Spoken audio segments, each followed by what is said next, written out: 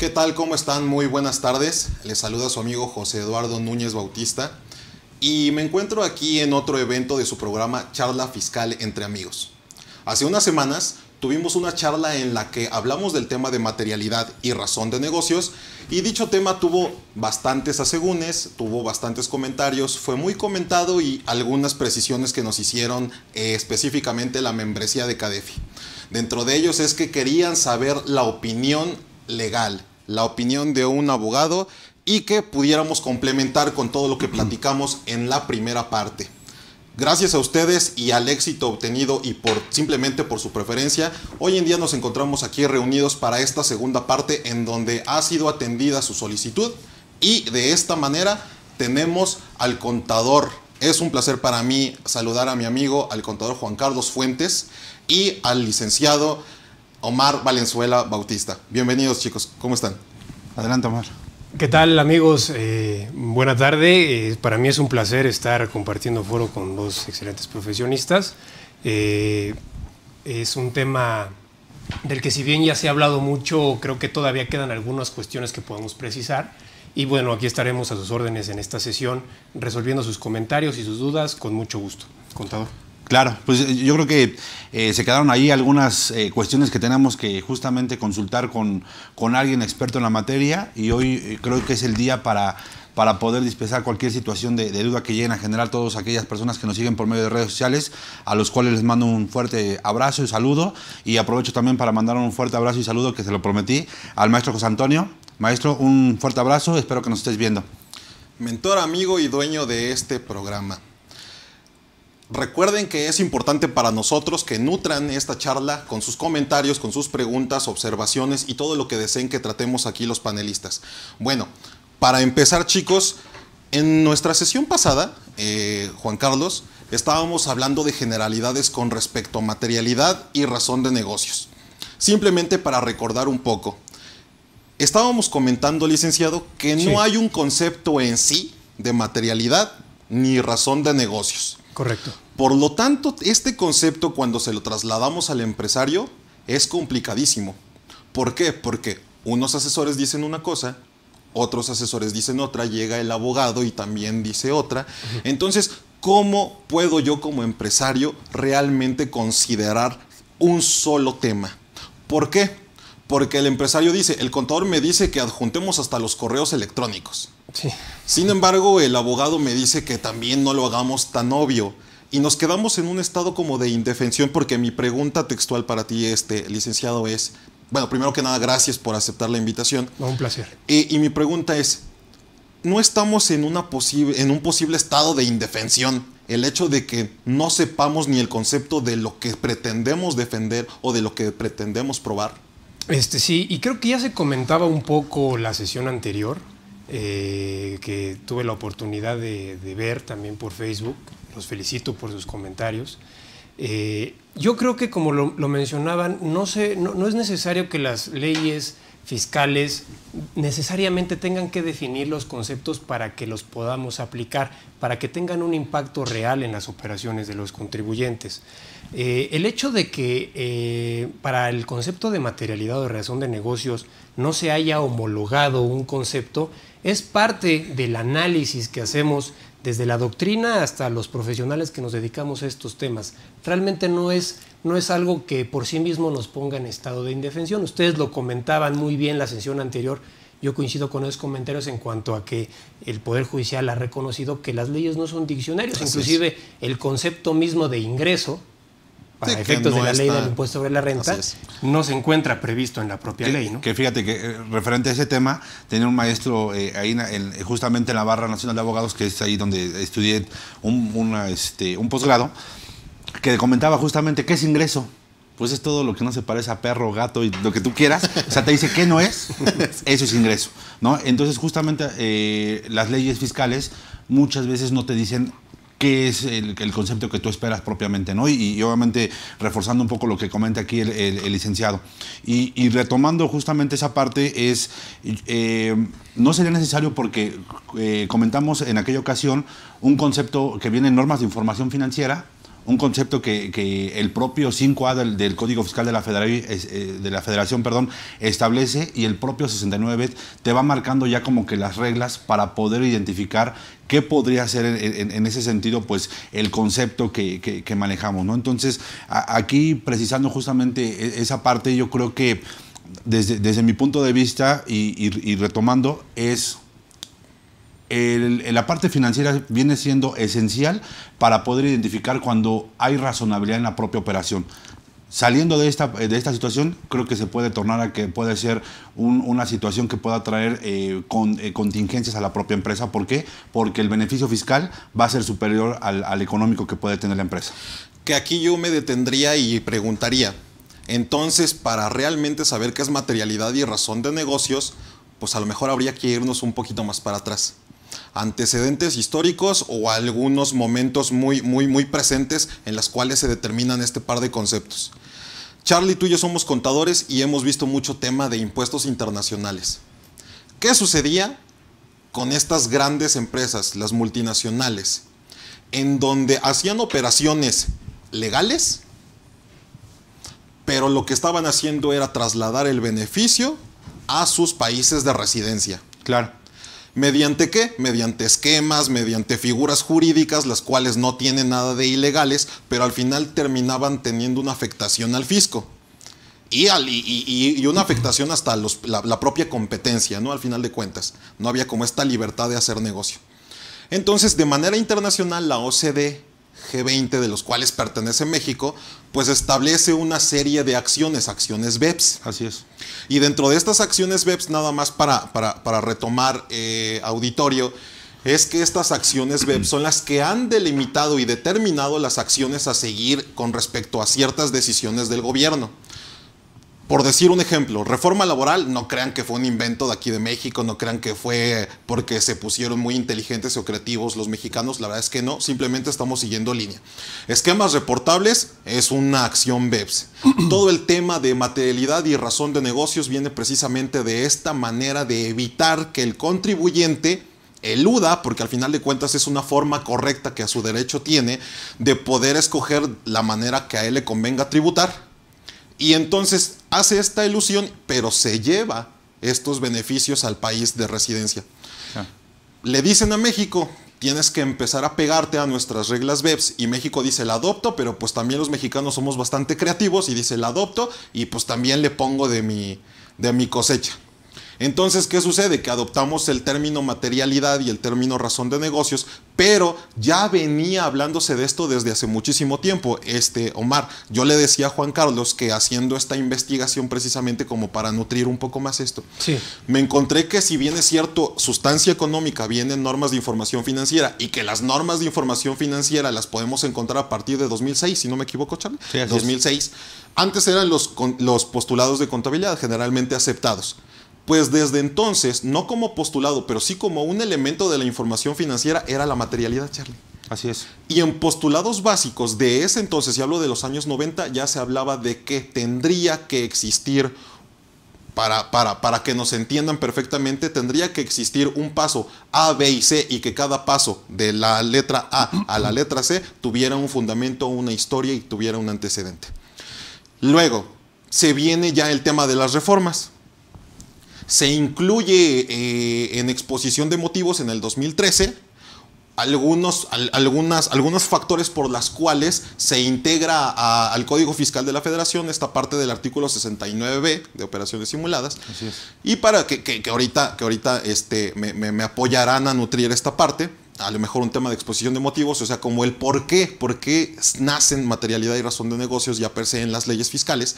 Y el 5A, que si bien es reforma de 2020, al final de cuentas no le poníamos atención desde 2020, sino hasta 2021 porque pensábamos que no tenía efectos fiscales en 2020. Sin embargo, hay jurisprudencias, hay criterios de la autoridad que ya hacen referencia al tema de materialidad o razón de negocio desde, desde hace muchos años ya atrás. Correcto. Bueno, ten, entendiendo todo este concepto, eh, Omar, Charlie, ahora sí que como, como, como quieran ir participando es, ¿por qué? ¿Por qué esta materialidad? ¿Por qué esta razón de negocios? ¿Realmente el contribuyente es tan malo, Omar?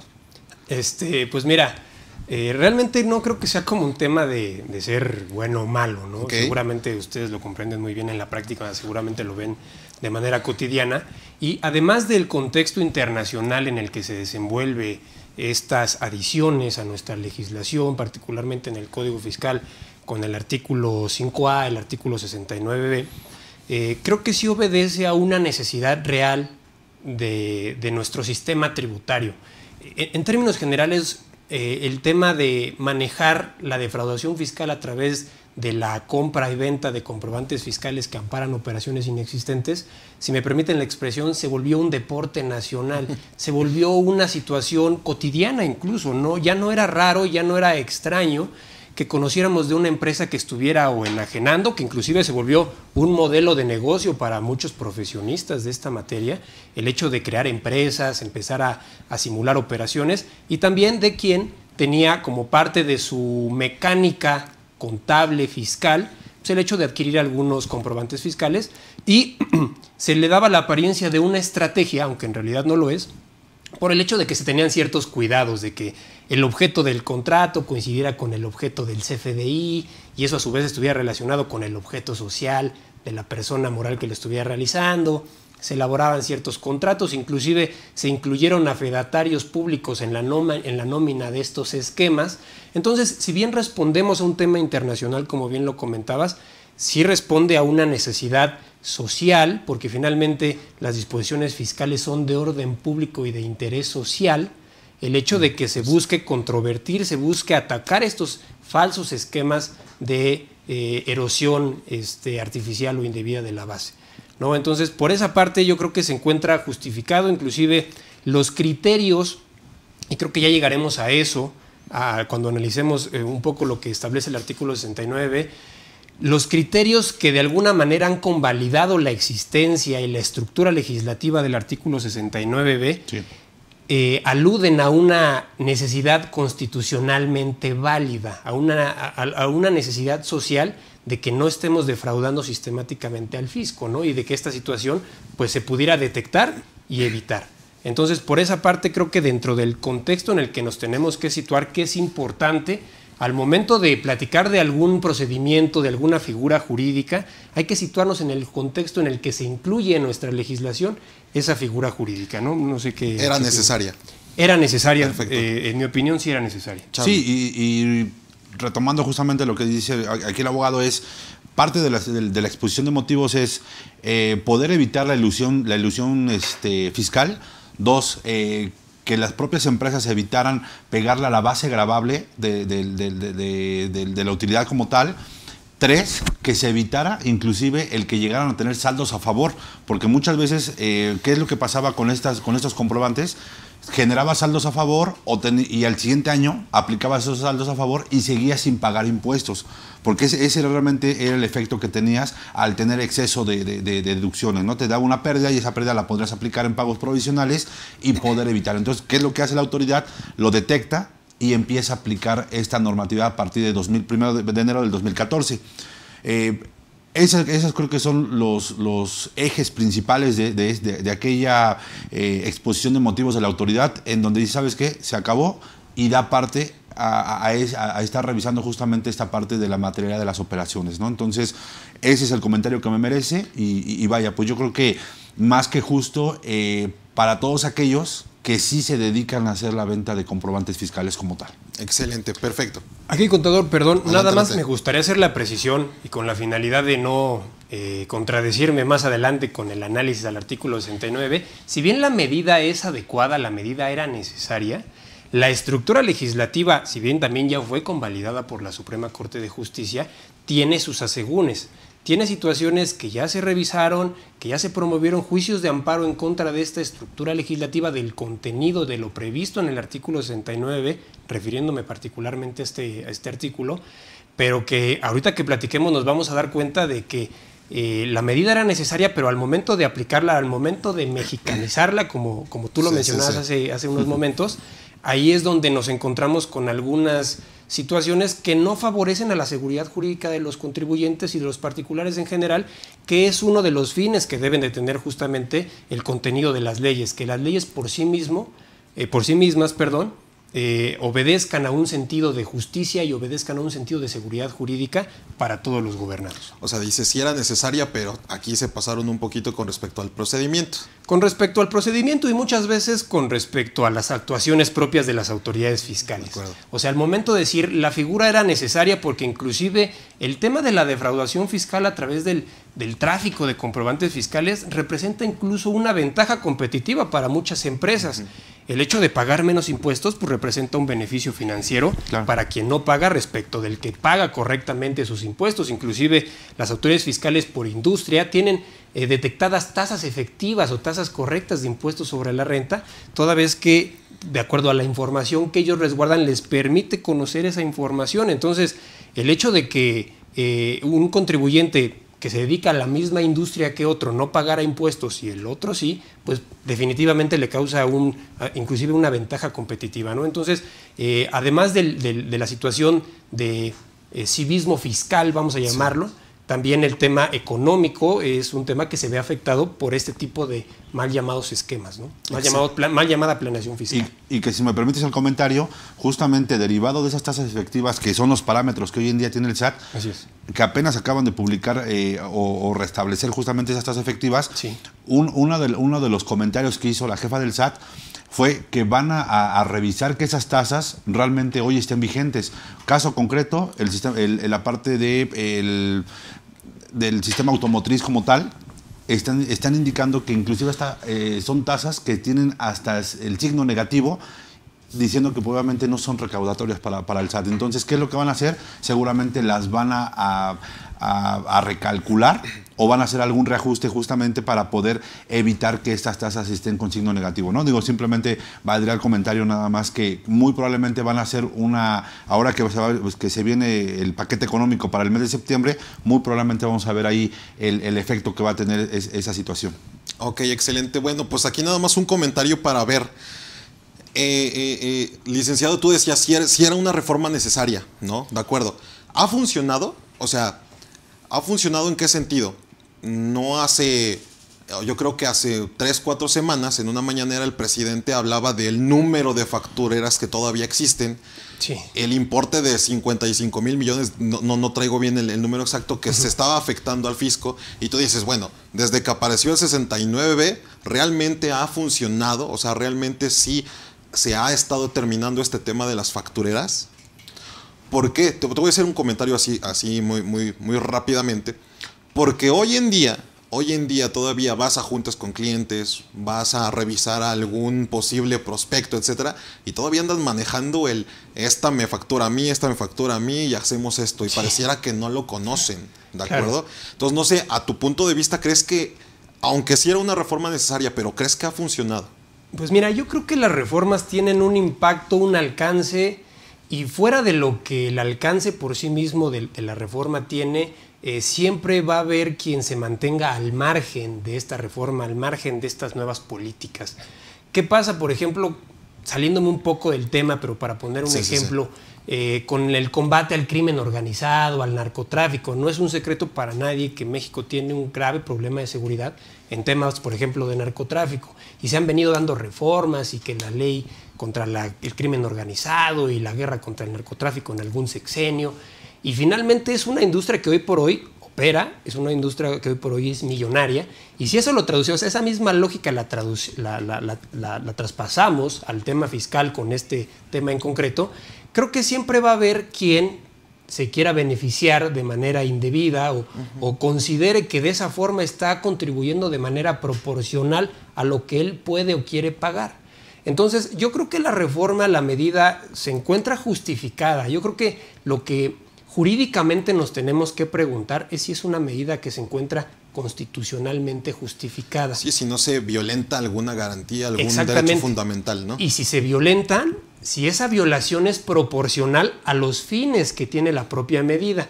Eh, un, tema eh, técnico, jurídico, y que les, sugiero conocer a, todas nuestras amigas, amigos que hoy nos hacen el favor de escucharnos, de acompañarnos, es el test de proporcionalidad que emitió la Suprema Corte de Justicia en el que a partir de determinados supuestos, la Suprema Corte de Justicia puede analizar alguna reforma de ley, una reforma de la Constitución, para saber si es proporcional, si una medida nueva se encuentra jurídicamente justificada para que eh, en caso de existir también una violación al momento de aplicar esta disposición, pues que digamos que se encuentre en armonía el sistema jurídico en México. Excelente, ok, ok, ok, perfecto. Charlie, ¿crees que esta medida ha estado funcionando, el tema del 69B? Ha estado funcionando en el sentido de que sí ha, habido mayor recaudación, sí. Digo, yo creo que lo hemos visto en cada uno de los, de, los paquetes económicos que hemos visto por lo menos de 2014 a la fecha. La recaudación no ha habido nuevos impuestos, no, no, no, no, han incrementado las tasas, pero yo creo que se ha centralizado justamente al tema de fiscalizar. ¿Cómo lo fiscalizan? Inclusive hasta hubo un recorte importante dentro del SAT. ¿Y cómo lo fiscalizan? Pues obviamente por los medios electrónicos. Y yo creo que hoy y siempre lo he dicho, en el tema de, poder fiscalizar y poder revisar, son, es el propio CFDI. El propio CFDI es el, que te marca la pauta para poder identificar hasta cuando una operación es inexistente o no es inexistente con el puro concepto. ¿Por qué les hago esta pregunta? Porque en una junta un empresario me decía, Lalo, pues sí se ha juntado mucha lana. O sea, sí, sí, la autoridad fiscal ha hecho su labor de fiscalizar, de recaudar y todo perfecto. Sí, pero ¿a qué costo? Su expresión literal del empresario fue pagamos justos por pecadores. ¿Por qué? Porque hay contribuyentes que no hacemos operaciones inexistentes, no, este, eh, no tenemos nada en contra del, del, fisco y sin embargo llega la autoridad y me dice, ¿qué crees? Tus operaciones realmente son simuladas. Correcto. Un ejemplo rapidísimo, un ejemplo rapidísimo. Una empresa, y esta empresa lo único que hizo, su pecado, fue solicitar un saldo a favor de IVA bastante amplio, por cierto. Solicita su saldo y como tú bien lo comentabas, eh, eh, ahora sí que hace rato que estábamos ¿no? Eh, platicando, pues lo único que ellos estaban esperando es, pues sí, devuélveme o simplemente niégamela pues para seguir con mi procedimiento, para darte todos los elementos para tener mi devolución. ¿Y qué sucede? No solamente no te la niego, espérate, voy a ejercer facultades de comprobación. Correcto. Ya vamos a empezar a entrar un poquito a tema un poco más técnico sobre procedimientos, pero bueno. Entonces ya le ejerce facultades de comprobación y dentro de esas facultades de comprobación le dice, ¿sabes qué? Operaciones simuladas. Operaciones simuladas por algunos aspectos. El 69B, digo, tú sabes mucho más de esto y nos los vas a explicar como con manzanitas. Pero el 69B, y, esto, y es una pregunta que quiero hacerte, abogado, es, establece que al final de cuentas no se va a contar con materialidad cuando falte algún elemento, parafraseando. Activos, personal e infraestructura, ¿no? Por decirlo así. ¿Los tres juntos o solo con uno? Lo que pasa es que para, continuar un poco con el contexto y para resolver la pregunta, yo lo que siempre sugiero es que analicemos eh, de alguna forma el contexto en el que se desenvuelve este artículo 69 en nuestra legislación. Porque lo que maneja el artículo 69 es una presunción legal. La figura de la presunción legal se encuentra prevista en diversas disposiciones, para, no salirnos del tema del Código Fiscal de la Federación. Pero bueno, de alguna manera, si hemos participado en la atención a este tipo de procedimientos, o en su defensa, hablando concretamente de los medios de defensa, eh, recurso de revocación, juicio contencioso, juicio de amparo, nos hemos preguntado, nos hemos detenido a analizar qué es una presunción legal.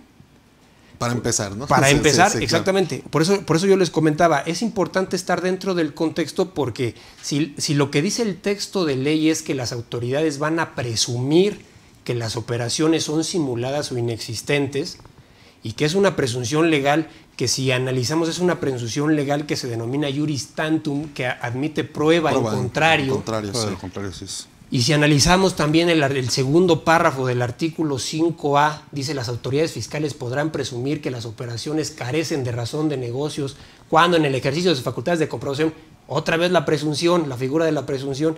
Y si nos vamos al cuarto párrafo del 5A, dice, las autoridades fiscales podrán presumir, salvo prueba en contrario, que una operación carece de razón de negocios cuando el beneficio económicamente esperado, es menor al beneficio fiscal.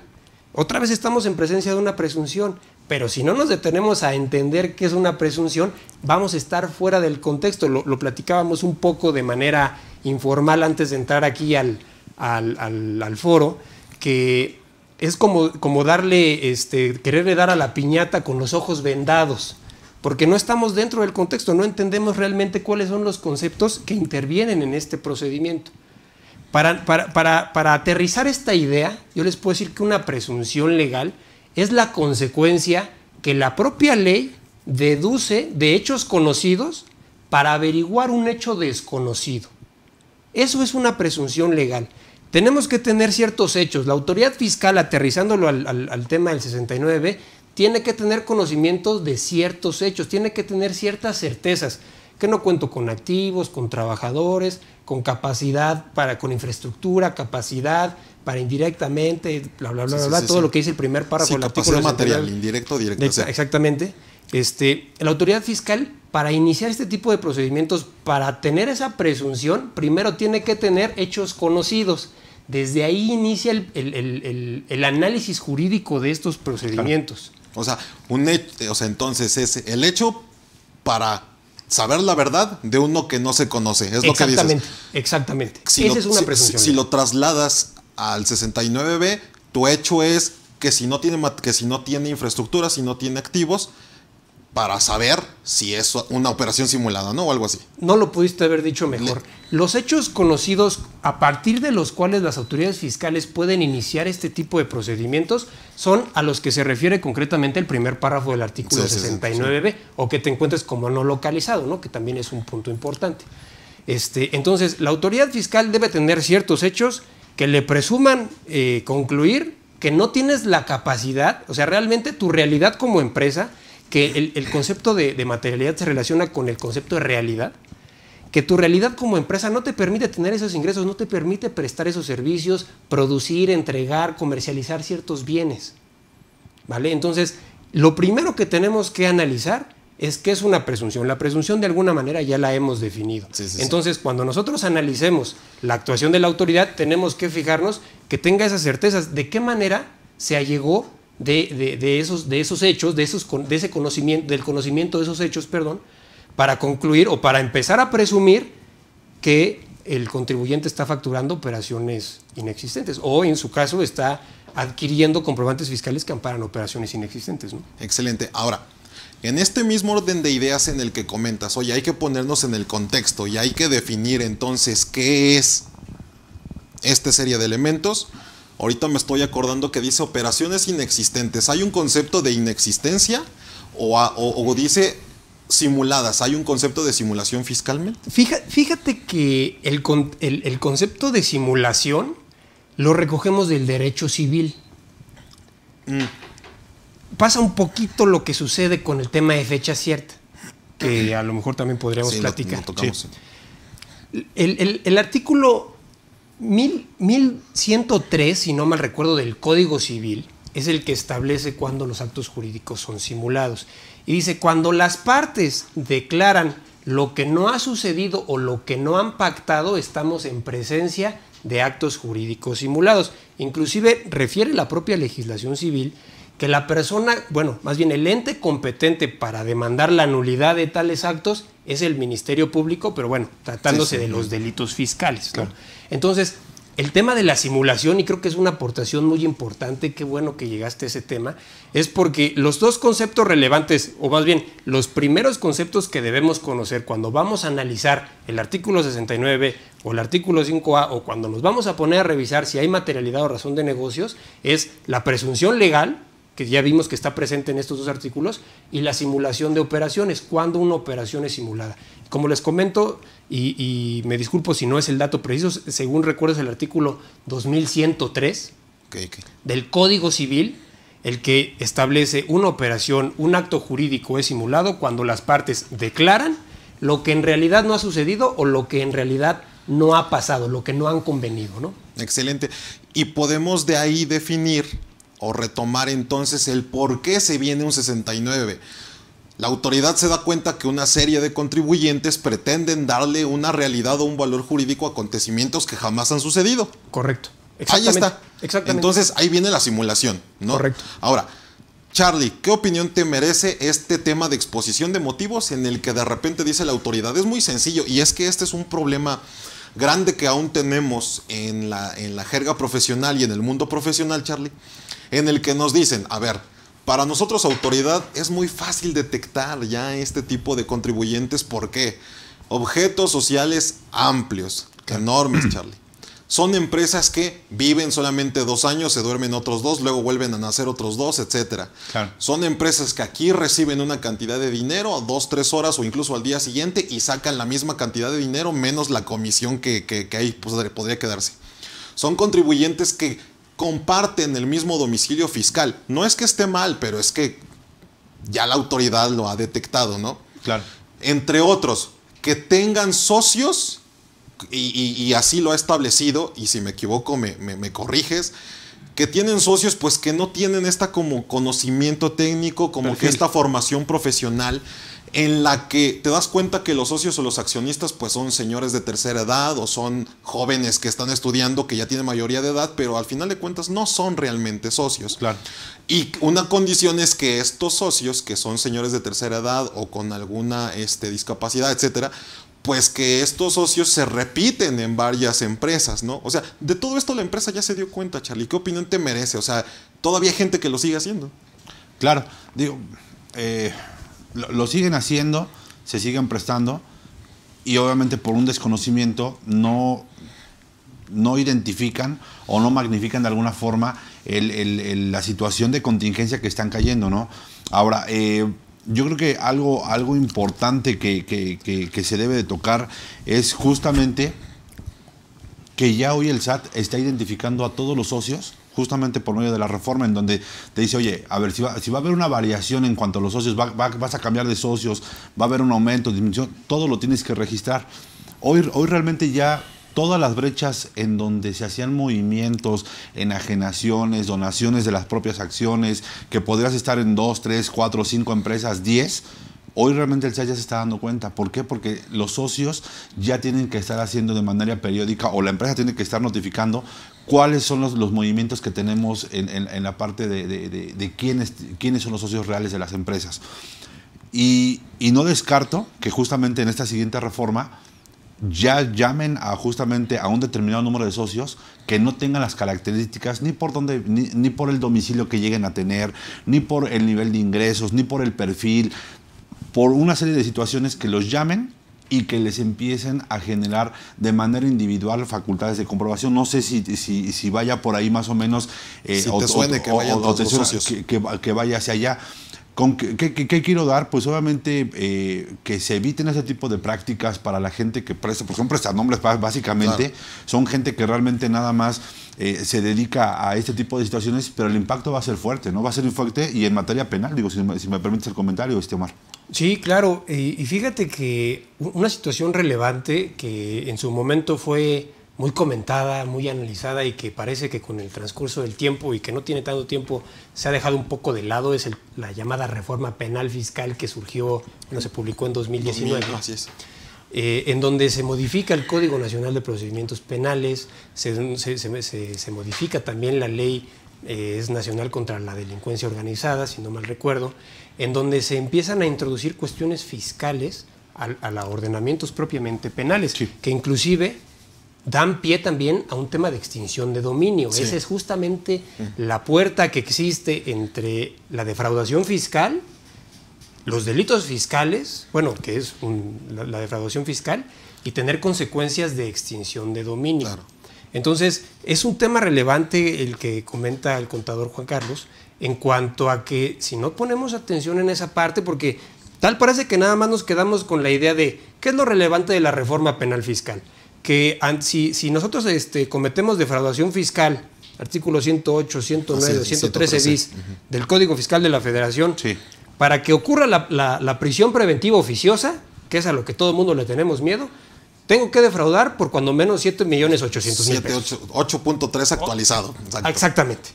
Pero como a lo mejor no estoy en ese rango, pues no me preocupo tanto. O sea, no, no van a venir por mí, o sea, no me van a privar uh -huh. de mi libertad, lo cual es una situación completamente incorrecta. O sea, es, el, el, artículo 108 prevé eh, las sanciones independientemente del monto, o sea, sí, sí, sí tiene un parámetro, pero defraudando 100 pesos ya eres, ya, ya estás cometiendo un delito, Delito. fiscal. Entonces, no debemos de dejar de lado esa, esa, esa reforma penal fiscal en donde pensamos que a lo mejor lo que vamos a buscar es la manera de que no nos afecte porque a lo mejor no estamos dentro del rango y pensamos que ya tenemos salvada esa parte, cuando en realidad pues tenemos una contingencia no nada más fiscal, hablando de, de la determinación de créditos fiscales, sino también este, pues penal. ¿no? Claro. Ahora, yo tengo, yo, a ver, yo tengo una pregunta, yo creo que es una pregunta que muy probablemente te pueda hacer eh, la, la- este, la gente que nos sigue por medio de redes sociales. Claro que sí. ¿Esos 8.3 actualizados son por ejercicio fiscal o es el acumulado? Mm, Aquí lo que, lo que tenemos que analizar es el... el- Luego nos pasas tu- tu- tus honorarios, ¿vale?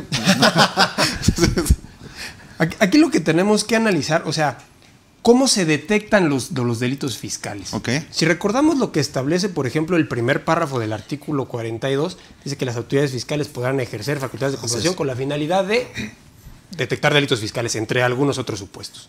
¿No? Entonces, si en el ejercicio de sus facultades de comprobación, por ejemplo, la autoridad detecta que estamos eh, defraudando por estos montos, lo que, lo que va a suceder para, para no desviarnos tanto del tema y llevar esto a algo 100% penal es que le da vista a la Procuraduría Fiscal para que la Procuraduría Fiscal en su momento presente la querella.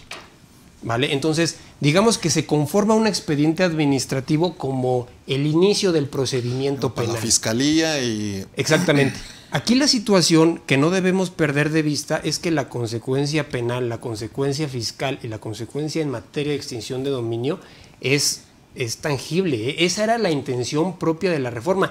Y no porque no tenga tanto ruido ese tipo de asuntos, no significa que no existan, Sí, claro. ni que no, no, no, vaya, no, no podamos ser sujeto de ese tipo de, de situaciones. Inclusive en algunos foros en su momento yo escuchaba que como lo establecen las propias disposiciones, dice, bueno, si ya tienes un problema penal, vas y pagas y te quitas del problema. Pero si esa es tu estrategia de defensa, pues imagínate cómo le puedes decir al empresario, ya que tenga usted las esposas, pues vamos y pagamos y ya con eso nos quitamos de problemas. Sí, sí, sí. El empresario te va a decir, oye, pues no me podrías preparar algo un poquito más, este, más seguro. O sea, es un absurdo, ¿no? O sea, es un absurdo que le demos esas salidas, decir, no, son 7 millones 800 y tantos. No, pagando te solucionas el tema. El tema es preventivo, el tema es cómo no caer en ese tipo de situaciones, el tema es cómo identificar a mis proveedores que, por ejemplo, ya están publicados y qué cuidados voy a tener yo, cómo voy a atender el procedimiento del artículo 69, qué pasa si no lo atiendo. Eso es en lo que nos tenemos que enfocar, desde mi punto de vista y a lo mejor opinión de ustedes. No, digo, com- completamente de acuerdo y, y justamente fue uno de los puntos que tocamos, ¿no? Hoy yo creo que la cultura tiene que ir hacia un tema de prevención, más no de, eh, de- Corrección. de, de corrección como tal, ¿no? Porque O sale de más caro. defensa. O de defensa, exactamente, porque sale, va a salir más caro el tema de la defensa que si vas previendo justamente lo que dices, ¿no? Vas detectando con qué proveedores sí puedes operar, con qué clientes puedes operar, porque el día de mañana te puede llegar justamente una cancelación de sellos, una revisión o una compulsa justamente derivada porque no revisaste o no checaste con quién estás operando. ¿no? Ya que, sean que- clientes que- o proveedores. que ahí en ese tema de, de- de- de la cancelación de sellos tomo una expresión tuya, y, o sea, y la digo abiertamente en la que decías, o sea, no nada más es el efecto fiscal, o sea, o el efecto penal, el efecto económico de que te cancelen sellos y que no puedas estar pues operando, ¿no? Claro. O sea, hasta, hasta allá se puede ir. Ahora, bien, todos, todo esto el empresario lo ha escuchado ya muchísimas veces. O sea, ya, muchísimas veces. Pero al final de cuentas dice, es que no puedo dejar de operar, tengo que tener negocio, tengo que hacer negocio. Un ejemplo claro es el hecho de cuando haces una actividad que es sujeta al lavado de dinero, en la que tienes que dar aviso, en la que tienes que tener los expedientes, etcétera. Y entonces un empresario me decía, oye, soy una galería de arte, Correcto. siendo muy honestos, quienes compran las obras de arte de élite, pues no son precisamente empresarios o son empresarios pero de los otros, ¿no? ¿Cómo crees que le voy a pedir? O sea, no, no me va a dar nunca jamás esta información. Y dice la autoridad, ¿sabes qué? Omite hacer operaciones, omite hacer negocios con ellos. Eso es imposible ya en la calle, ya en el mundo empresarial.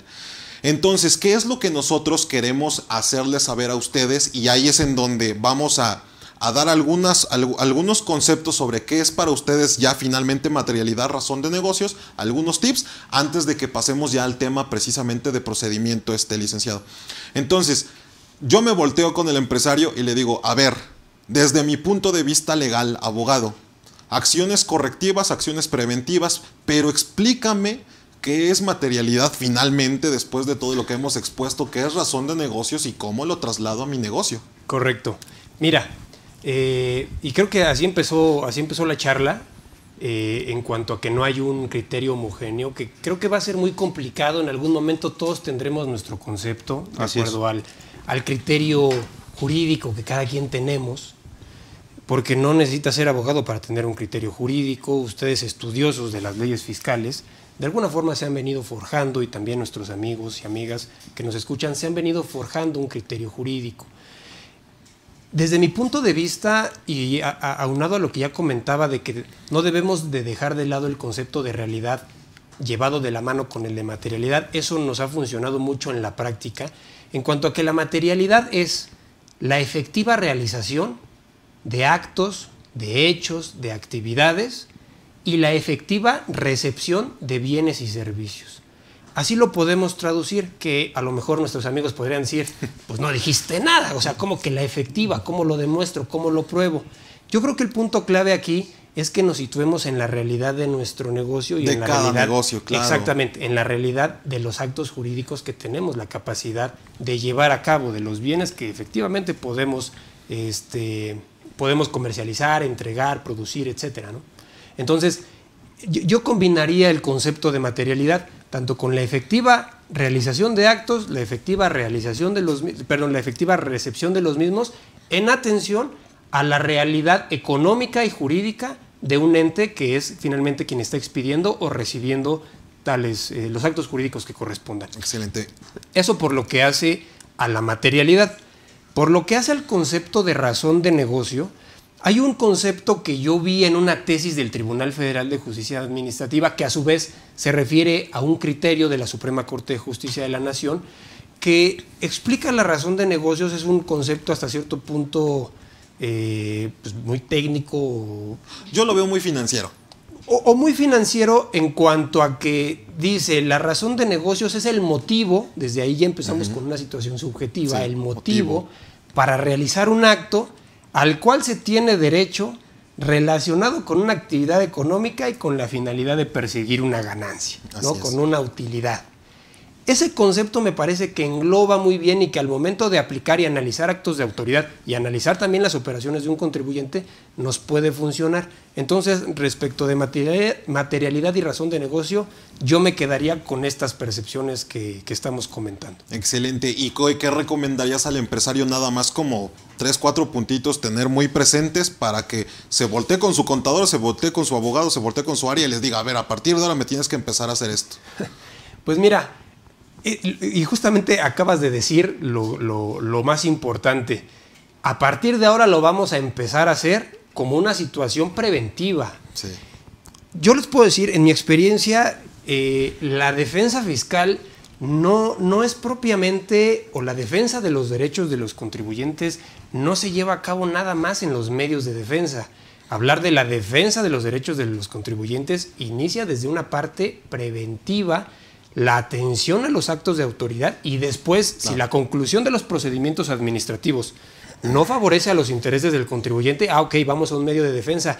Pero antes de presentar el recurso de revocación, ya tuvimos que adoptar una serie de medidas importantes, porque si no en el medio de defensa vamos a ir a pelear que la competencia, que la firma, que no está debidamente fundado.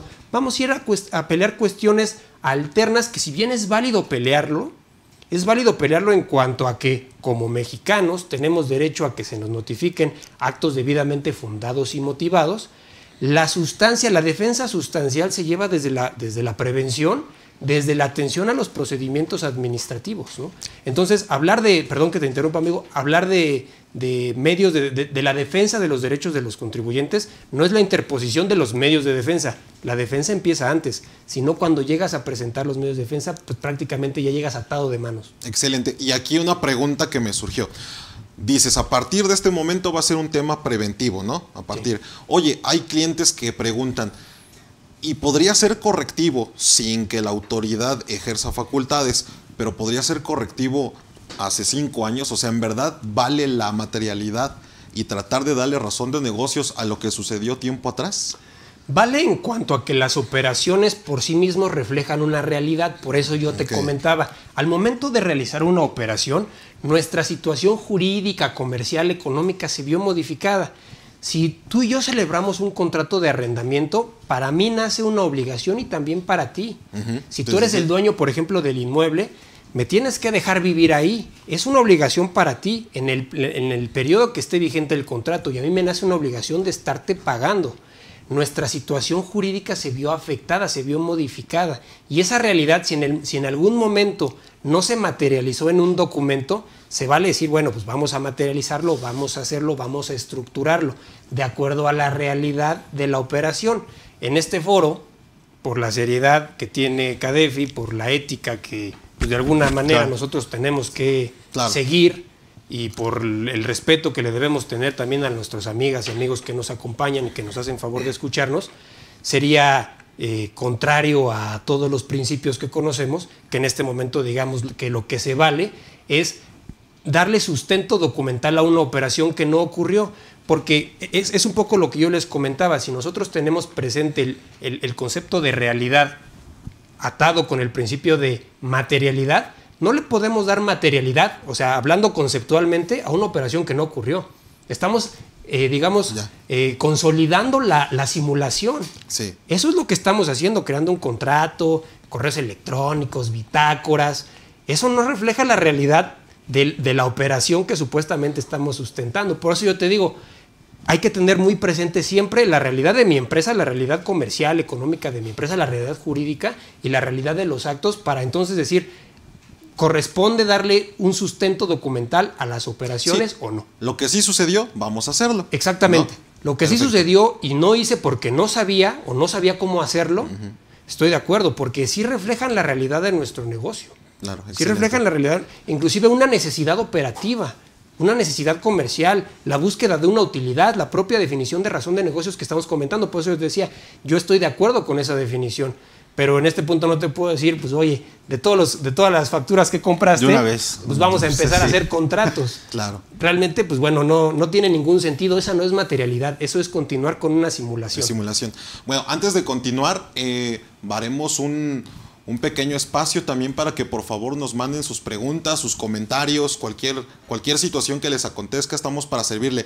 Charlie, me volteó contigo. Materialidad, razón de negocios. Bueno, yo, yo- yo sí quisiera hacer algunas Lo- eh, recomendaciones y Adelante. precisiones que en su momento hemos, hemos platicado. La, la sesión pasada lo, lo- lo- lo platicamos y lo dijimos como tal. Yo creo que hoy lo que, lo que busca la autoridad en una serie de, de listado que viene dentro de las facultades de, comprobación de la propia autoridad, pues es tener bien especificado tus manuales de políticas y procedimientos de, las, de las áreas. Dos, documentar de manera correcta justamente los procedimientos que tengas por área, ¿no? ¿A qué me refiero? Por ejemplo, si tú compras material, te dedicas a la prestación de servicios, que documentes de manera correcta, ¿no? Y- y que lo documentes con, operaciones reales, como lo haces realmente, ¿no? Porque evidentemente muchas veces lo primero que hacemos es irnos con el primer proveedor, que era lo, que platicábamos justamente en la charla pasada, no darle el sustento, no, no darle las formalidades este, pertinentes, ¿no? Hoy, hoy me sucedía justamente, yo requiero cierta mercancía en, en una empresa y a la hora de revisar no hay una requisición de compra, no hay información, no hay, un, no hay una cotización Esta negociación, ¿no? no hay una negociación, ¿no? Entonces, yo creo que eso es a lo que, a, a lo que yo me refería en cuestión de que sí haya procedimientos para poder establecer eh, esa, esa operación como tal, ¿no? ¿Por qué? Porque lo que busca la autoridad es justamente eso, que sí, efectivamente, porque si haces una compra de una factura, simplemente pides el documento, lo pagas, se acabó, ¿no? ¿Qué es lo que quiere la, la- la- la, eh, la autoridad? Ah, bueno, pues que compruebes que efectivamente, ¿no? Cuando te dedicas a seleccionar a tu proveedor, a tu cliente, haces este tipo de cuestiones, ¿no? Cotizaciones, Cotizaciones, negociaciones. Exactamente. Y, y más si lo tienes sustentado por medio de un control interno, pues vaya, o sea, ¿qué es lo que vas a hacer? Vas a, vas a, a revisar tus manuales de políticas y procedimientos, vas a, a- a solicitar las cotizaciones, vas a, hacer, vas a programar los pagos e inclusive podrías eh, eh, elaborar los, los, propios contratos que ya platicamos en su momento, darles fecha cierta, que ya platicamos cómo dar la fecha cierta, no en un programa, sino en dos, ya, ya, platicamos y ya le dedicamos tiempo al tema de la fecha cierta. Y, ¿qué es lo más importante? Tener todo documentado, todo de la operación documentada. Si es necesario sacar fotos, si es necesario generar esto, que yo creo desde mi punto de vista eh, es lo que le puede ayudar a la defensa a poder acreditar justamente esas operaciones que estamos realizando día con día. ¿no? Ese, ese sería parte de las recomendaciones que yo haría en temas internos de control de implementación, que documenten, que diagramen, porque inclusive hoy la, propia autoridad te pide un diagrama de cómo operas, ¿no? Desde que, desde que inicia tu operación hasta que finaliza.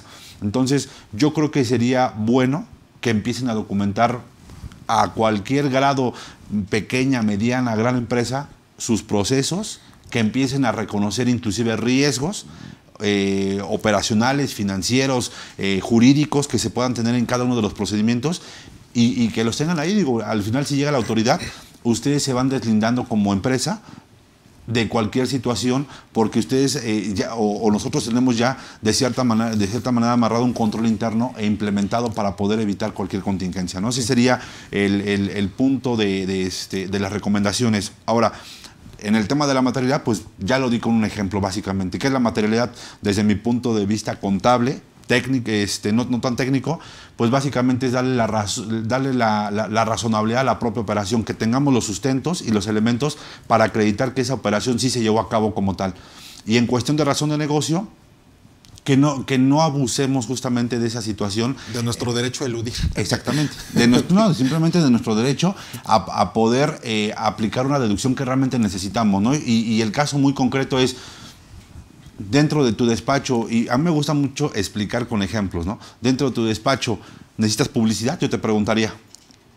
Sí. Sí, necesitas publicidad, ¿no? Esa publicidad yo te diría, ¿valdría la pena meterte 2, 3 millones de pesos de publicidad, ¿ahorita la vas a utilizar? No.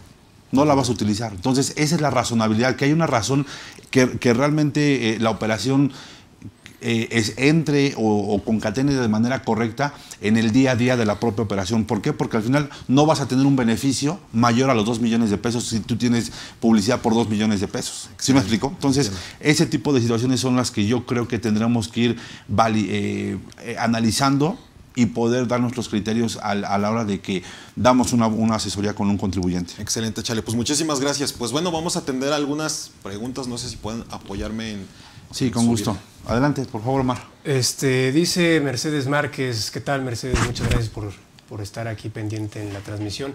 Dice, actualmente se encuentra las auditorías virtuales y no ven todas las situaciones que suceden en la página del SAT. No hay citas, se te vence la fiel, no puedes hacer diversos trámites, dejando incertidumbre al contribuyente. Sí, esa situación es una realidad, eh, estimada Mercedes eh, Márquez, eh, es una realidad el hecho de que no existan citas, inclusive viene a ser una contradicción en cuanto a la exigencia en los plazos para cumplir ciertas obligaciones, en cuanto a que pues, mm, las autoridades fiscales no están recibiendo a todos los contribuyentes que necesitan hacer algún trámite.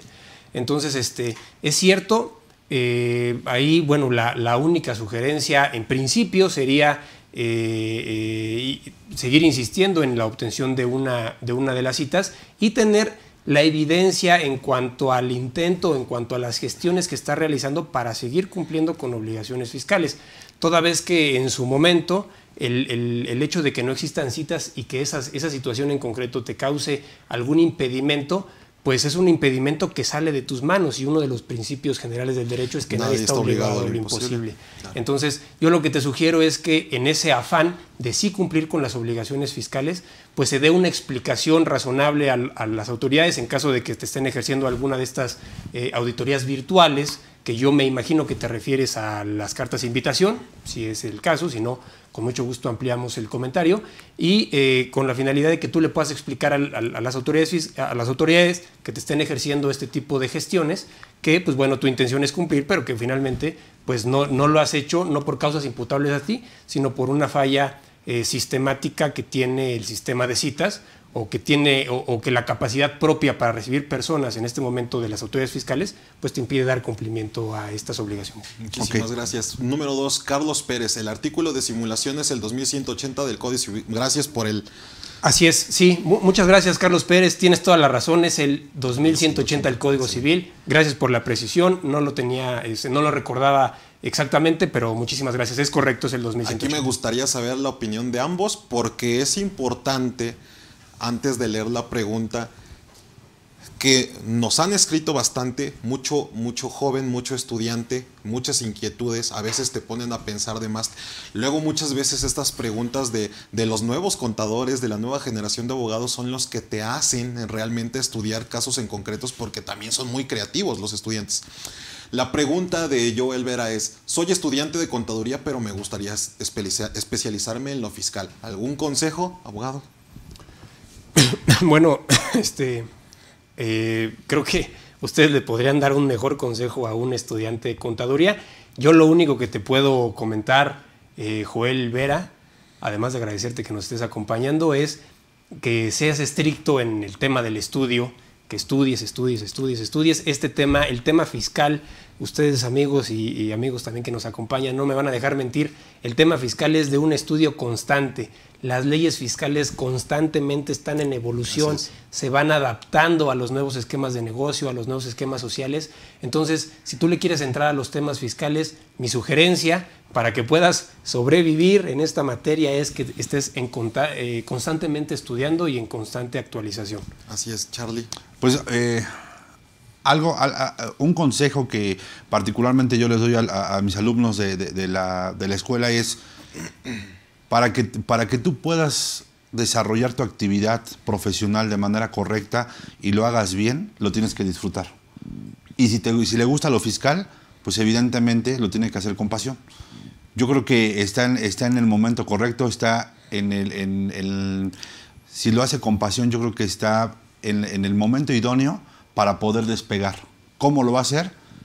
Con trabajo, ya empezaron, empezando con el, con, con el día a día, con el tema de la talacha, diríamos nosotros. La experiencia profesional. La experiencia profesional y con el estudio. ¿no? Yo creo que esos dos complementos son básicos y porque el día de mañana que se, que se voltee y que, y que vaya hacia, hacia un rumbo que lo tenga bien detectado, eso es lo que le va a dar el éxito a la persona, que lo haga con pasión y que vaya teniendo esa expertise, eh, ya sea eh, por medio de, este, de documentarse, de estudiar y aparte con la parte, con, la parte práctica, ¿no? Gracias, Charlie.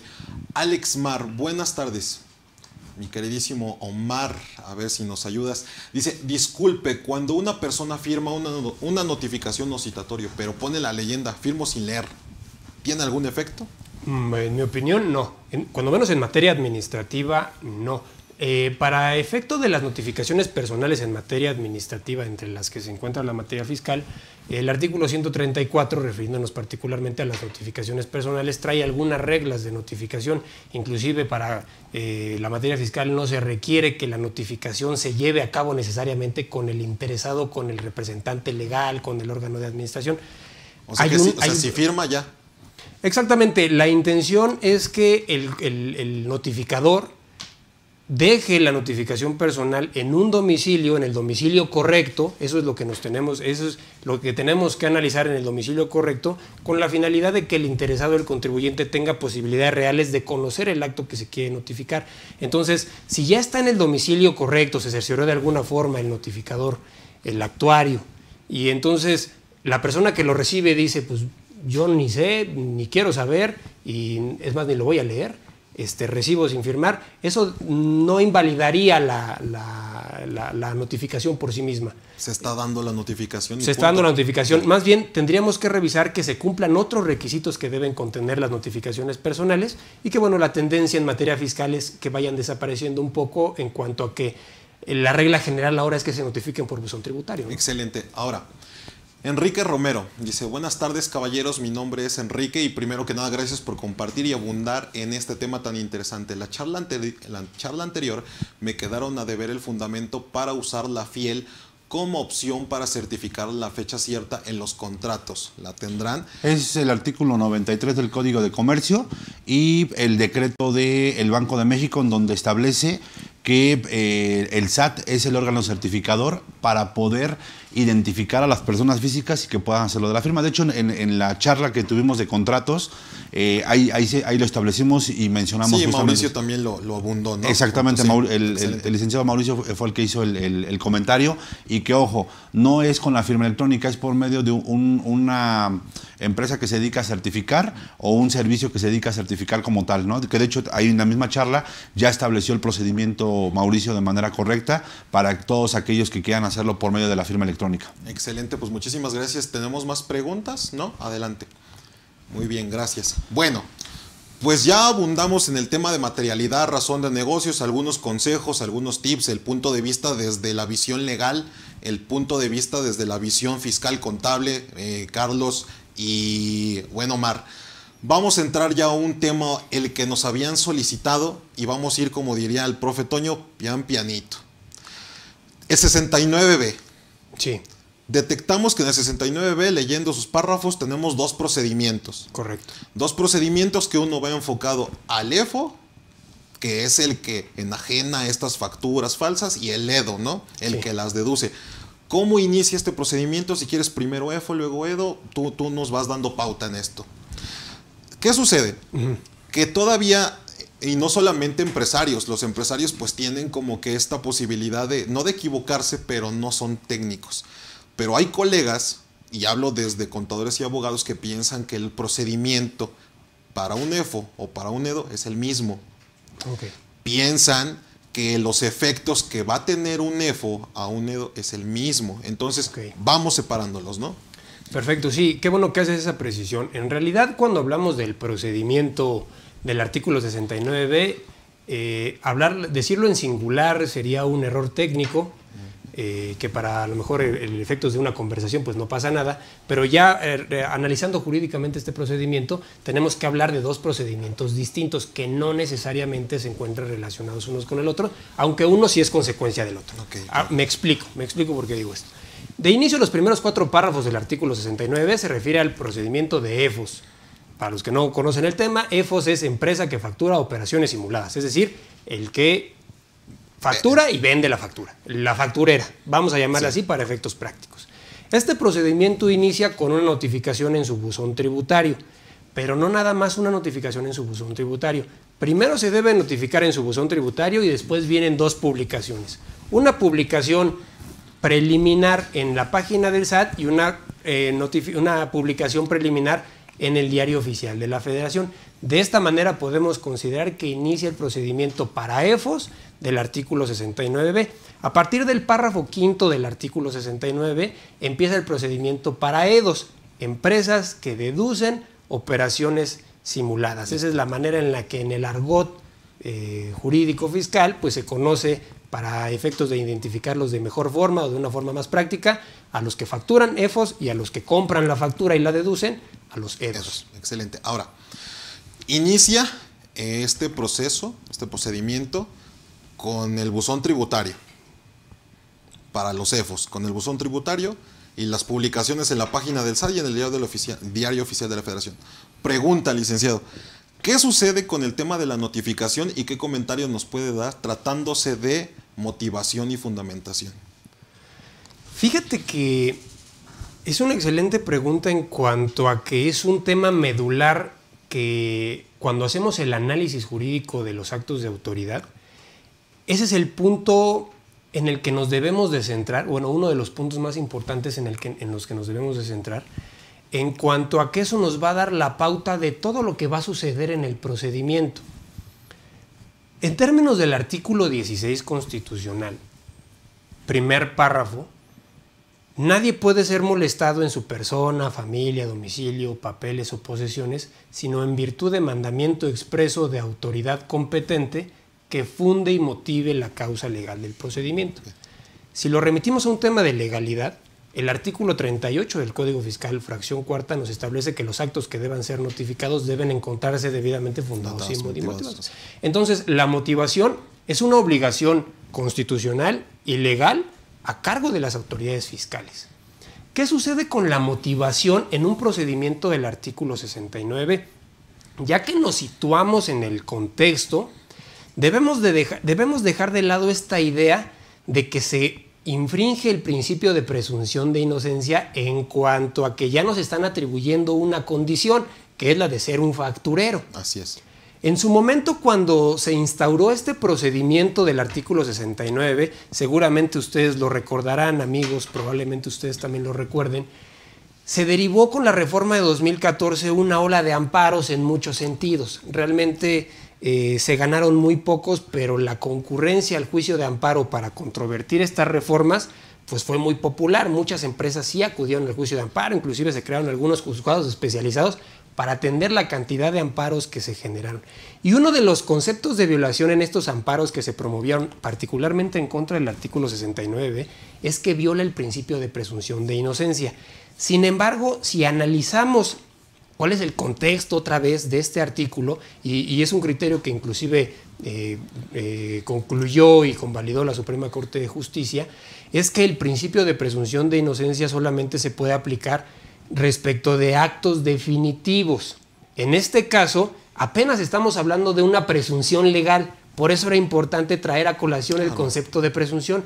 Yo no te estoy diciendo que seas facturera, te estoy diciendo que creo que eres, porque no presentas a lo mejor declaraciones de retención de sueldos y salarios. Ya le pregunté al IMSS y dice que no tienes trabajadores registrados y estás facturando millones de pesos, pues pásame la fórmula para facturarlo sin pagar este, trabajadores. O sea, el hecho de que te publique después de haberte notificado, no hay esta violación porque no te estoy acusando directamente, o sea, no es definitivo, es una presunción. Es una presunción y no viola el principio de presunción de inocencia en cuanto a la notificación de buzón tributario. Y acabas de tocar un tema muy interesante que incluso también ya se resolvió por los tribunales. A lo mejor este, me disculpo si es un tema que tal vez ya se haya platicado en estos foros, en cuanto a que cuando se impugnó este, este procedimiento, el contenido del, del artículo 69, también decían, oye, ¿cuál es la necesidad de que me publiques cuando estamos hablando de una presunción legal? O sea, estoy de acuerdo es una presunción legal, no violas el principio de presunción de inocencia, pero entonces ¿para qué me publicas? ¿Para qué le das publicidad a esa investigación que tú estás haciendo? Hasta ahorita nada más tienes algunos hechos, algunas certezas que te permiten presumir que estoy vendiendo facturas o que estoy expidiendo comprobantes fiscales que amparan operaciones inexistentes. ¿Cuál es la necesidad de publicarme? Yo hasta la fecha considero que esa publicación sí viola el, derecho humano previsto en el artículo quinto, por ejemplo, que nos da esta libertad de trabajo, nosotros nos podemos dedicar comercialmente a lo que queramos, siempre y cuando sea lícito. Y lo que resolvieron los, órganos del Poder Judicial es que estas publicaciones no violan ese derecho en cuanto a que se trata justamente de una presunción respecto de la cual tú tendrás la oportunidad de aportar pruebas. Y esa, y esa oportunidad de aportar pruebas inicia justamente con las notificaciones pero hubiera sido suficiente con la notificación en el buzón tributario. Desde mi punto de vista, hoy por hoy, aunque es un tema que ya se agotó por los tribunales, sí. Imagínate, porque además las autoridades fiscales tienen la obligación de publicar trimestralmente a, los contribuyentes que lograron desvirtuar esta presunción, ya sea en el procedimiento administrativo o en el juicio contencioso administrativo. Entonces, bajo ese supuesto, si hay contribuyentes que están logrando desvirtuar esta presunción, toda vez que se trata justamente de eso, de una presunción, y tú ya le diste cierta difusión a lo que tu autoridad consideras, eso, desde mi punto de vista, por supuesto que perjudica comercialmente a una empresa. Hay empresas que ya tienen instaurado dentro de sus políticas internas, dentro de su control interno, no llevar a cabo actos jurídicos con empresas que se encuentran con esta contingencia. Sí, es una realidad. Hoy, hoy, hoy es una política. Si está en lista negra, ni lo vemos. Ni lo vemos, exactamente. Entonces, ¿cómo le explicas a tu posible cliente que estás en la lista negra, pero estás en ese inter de desvirtuar y que yo no fui. Finalmente, las, las, empresas que tienen instauradas estas políticas pueden decir, mira, pues primero soluciona tu tema y luego vemos si hacemos negocios o eso. Ya te ven con otros ojos. A lo mejor ni siquiera les consta, pero dice, bueno, si esta contingencia que tienes hoy por hoy se convierte en una contingencia definitiva en cuanto a que te ponen en el estado definitivo, eso me causa una contingencia a mí, porque ya platicaremos, para cuando hablemos del procedimiento de EDOS, en cuanto te publiquen a ti, por considerarte una facturera, empiezan a correr mis 30 días para yo acreditar que efectivamente recibí los bienes y servicios que tú me prestaste. Entonces, si desde ahorita me estoy dando cuenta que tú estás publicado en estas listas preliminares, pues mejor no hacemos negocios, mejor soluciona tu tema y, luego platicamos. Exactamente. Yo, un- eh, aquí, eh, bien comenta el licenciado Mar, no hay una situación en donde ya hay una resolución definitiva. Sin embargo, desde mi punto de vista, y digo desde mi punto de vista porque yo así lo veo, si hay una afectación en que si te suben al listado, te cancelan los sellos o te los suspenden. Si te lo suspenden, pues prácticamente ya no puedes operar. ¿Qué comentario me merecerías si al, al final, si yo ya no puedo facturar, ya no puedo operar? Yo, desde mi punto de vista, creo que sí hay una afectación directa en mi operación diaria, ¿no? Entonces, por eso es- creo, que- creo que se vino la, la ola de amparos, por eso es de que se vino justamente esta situación de que se se- se- la autoridad juzga antes de generar un procedimiento como tal. Entonces, ese es mi punto de vista al respecto y creo que ese es uno de los puntos medulares que muchas veces el empresario dice, bueno, a ver, todavía ni siquiera me inicias, me- presumes y ya me cancelaste los sellos o ya me los suspendiste.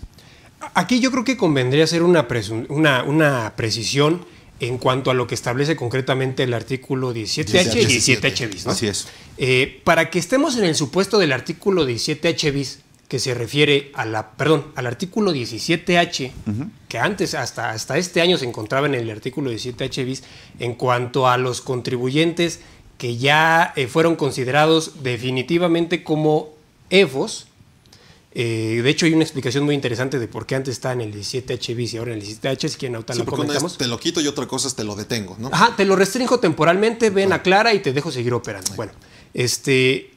Ahora ya, este supuesto particular para EFOS, si tú te encuentras en un problema de EFOS, sí te pueden cancelar el sello, pero hasta que estás en el listado definitivo. Definitivo. Ahorita estamos analizando justamente estos listados preliminares que constituyen la notificación para el inicio del procedimiento. Entonces, buzón tributario, te publicas y entonces ya inician un primer plazo. ¿Cuáles son estos plazos y después qué sigue, licenciado? Iniciaría un plazo de 15 días que puedes prorrogar 5 días más. La prórroga, simplemente la, el- el- la única condición para que te concedan esta prórroga es que la pidas den- dentro del plazo de 15 días y pues que la pidas por una única ocasión. Entonces este plazo de 15 días se puede extender hasta 20 días, 20 días hábiles por supuesto. Eh, en esos 20 días hábiles lo que tiene que hacer el contribuyente es dos, refutar, aportar elementos que le permitan crear convicción a la autoridad fiscal en cuanto a que el contribuyente no enajenó, eh, no, no, no emitió comprobantes fiscales que amparan operaciones inexistentes, es decir, aportar la famosa materialidad y también argumentos que sustenten esa operativa, que ahorita ya platicaremos un poco de cómo hacerlo en la práctica y cuál es la valoración de las pruebas que se debe llevar a cabo por la autoridad fiscal. Eso es lo que va a suceder en e- esos 15 días prorrogables a 20 días. Son para que las los contribuyentes acudan al procedimiento, ejerzan su garantía de audiencia y aportan elementos, pruebas, argumentos Garantía con la finalidad de desvirtuar la presunción legal. Ahorita todavía estamos en una presunción legal. Claro. Transcurre este plazo, la autoridad está obligada a valorar todas estas pruebas en un plazo de 50 días, si no me equivoco. 50 días es correcto. Pero dentro de este plazo, la autoridad puede solicitarte información adicional. Correcto. Cuando, cuando inicié con, con- contigo este tema de proceso, de, de- de proceso procedimiento, para, para no equivocarme. Un procedimiento. Procedimiento, perfecto. Cuando iniciamos este procedimiento yo te preguntaba acerca de la fundamentación y la motivación, porque cuando llegamos al momento en que la autoridad va a, val- va a valorar tus pruebas, si me equivoco por favor corrígeme, se tendría que enfocar única y exclusivamente a lo que te observó, lo que te fundó, te motivó y nada más. Correcto. ¿Es correcto? ¿Nos podrías como que abrir un poquito el panorama? ¿Por qué? Un ejemplo claro. Ya se notificó, ya se está venciendo el plazo, ya vamos a hacer la, la desvirtuar, etcétera, todo esto que, que comentas. Cuando tiene la autoridad, luego te quiere argumentar que no tienes materialidad por algunos otros elementos los cuales no venían en la notificación fundado y motivado. ¿Cómo, cómo ves ahí ese tema? Fíjate que le acabas de dar al clavo a un punto sumamente interesante y sumamente importante al momento de atender este tipo de procedimientos, porque ya, ya mencionábamos la importancia de que un acto se encuentre debidamente fundado Así es. y en este caso particularmente motivado. ¿A qué nos referimos con que en este caso el acto se encuentre motivado? a que las autoridades fiscales deben establecer particularmente cuáles fueron las circunstancias especiales, razones particulares por las cuales te inició ese procedimiento.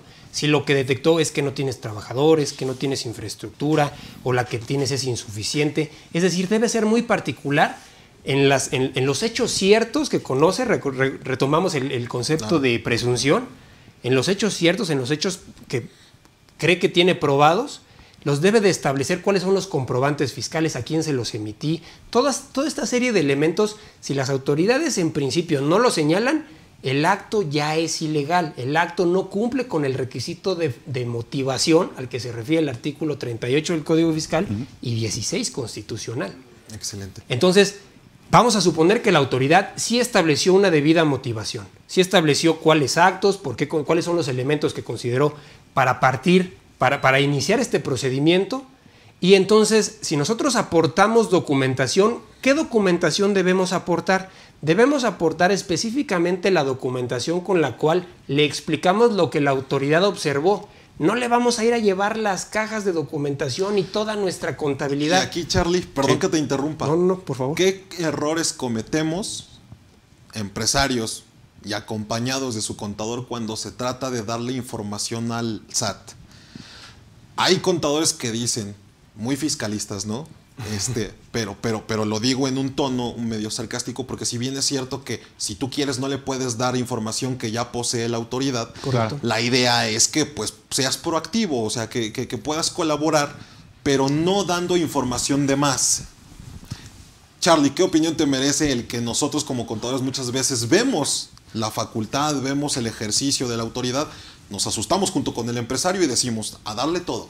Claro, pues yo creo que muchas veces mal asesorados o mal interpretado justamente el que me soliciten información, entregamos datos hasta de más y que nos pueden meter el pie más adelante, ¿no? Entonces, yo creo que eh, desde mi punto de vista es entregar justamente nada más la información que te requiere o que desde un inicio está en el, en el propio escrito para no ir más allá y que, y que la autoridad tenga información eh, de más como tal, ¿no? Entonces, ese sería el comentario que me merecería, eh, tener muy bien amarrados todos tus papeles de trabajo, la información, pólizas, lo que te llega a requerir la autoridad, y no entregar más, más que la, información. Como bien dices, en, la, en, la propia ley de los derechos del contribuyente establece que la información que tenga ya el SAT no tendría por qué volverte a solicitar como tal. ¿no? Entonces, pues ese es el comentario que me merece como tal. Excelente. Ahora, Omar, ya se viene este plazo de 50 días y la autoridad te va a decir si sí o si no, ¿no? Sí. ¿Qué sucede si se da la definitiva? Porque tiene que emitir una resolución. Correcto, sí. Eh, en un procedimiento administrativo inicia con una notificación, se da la oportunidad de que el contribuyente pueda defenderse dentro de, del mismo procedimiento, pueda acudir a desvirtuar la presunción de operaciones inexistentes y entonces la autoridad partiendo de la motivación por la cual inició el procedimiento, es decir, yo consideré que no tienes activos o que no tienes trabajadores, pensando que el requerimiento se ceñía particularmente a esclarecer si efectivamente no tienes trabajadores o no, de acuerdo a la información que ya aportaste, y con todos los elementos, entonces la autoridad en este plazo de 50 días debe emitir una resolución final. ¿Qué pasa si en el plazo de 50 días no la emite? Todo el procedimiento queda sin efectos. La presunción de expedir comprobantes fiscales sin contar con eh, la materialidad o la infraestructura, la capacidad que se requiere, queda sin efectos. Digamos que el contribuyente queda salvado. Si dentro de este plazo de 50 días sí se emite esta resolución y se notifica al contribuyente, hay que analizar pues, cuál fue la, la conclusión que la autoridad alcanzó. Aquí hay dos conceptos muy importantes que debemos de tener en cuenta que hasta este punto del procedimiento estamos en presencia de una resolución definitiva que pudiera causar una afectación en materia fiscal. ¿Por qué hacer un razonamiento de este estilo es importante para efectos de la interposición y la presentación de los medios de defensa? En concreto, el recurso de revocación y el juicio contencioso administrativo proceden únicamente en contra de resoluciones definitivas que causen un perjuicio en materia fiscal. ¿Eso en donde se establece? Artículo tercero de la Ley Orgánica del Tribunal Federal de Justicia Administrativa para el, para el caso del juicio contencioso y el artículo 117 del Código Fiscal de la Federación para el caso de recurso de revocación. Ok, nada más una duda y es lo siguiente. me notifican la notificación viene fundada y motivada porque no tengo trabajadores. O sea, como para decirlo en una expresión, ¿no? Sí. Y que nos entendamos. Ya en el momento de valorar pruebas, la autoridad dice, ¿sabes qué? No tienes trabajadores, pero tampoco tienes infraestructura. Y vimos uno que otro activo. ¿Eso puede hacerlo la autoridad? En principio no, porque mm, digamos que al momento de que se da eh, la motivación del procedimiento, de alguna forma se acotan las atribuciones de las autoridades fiscales, aunque el procedimiento no lo establezca particularmente así. Es decir, ¿cómo me voy a defender de algo que no sé que me estás atribuyendo? Los hechos que se presumen conocidos, los hechos que tú crees que están pasando, házmelo saber para que yo los pueda desvirtuar. Si no me estás anunciando una situación, o sea, no puede iniciar el procedimiento porque la autoridad consideró que no tenía trabajadores y al final considerar que el, sí expedí comprobantes fiscales que amparan operaciones inexistentes porque no tenía infraestructura o activos.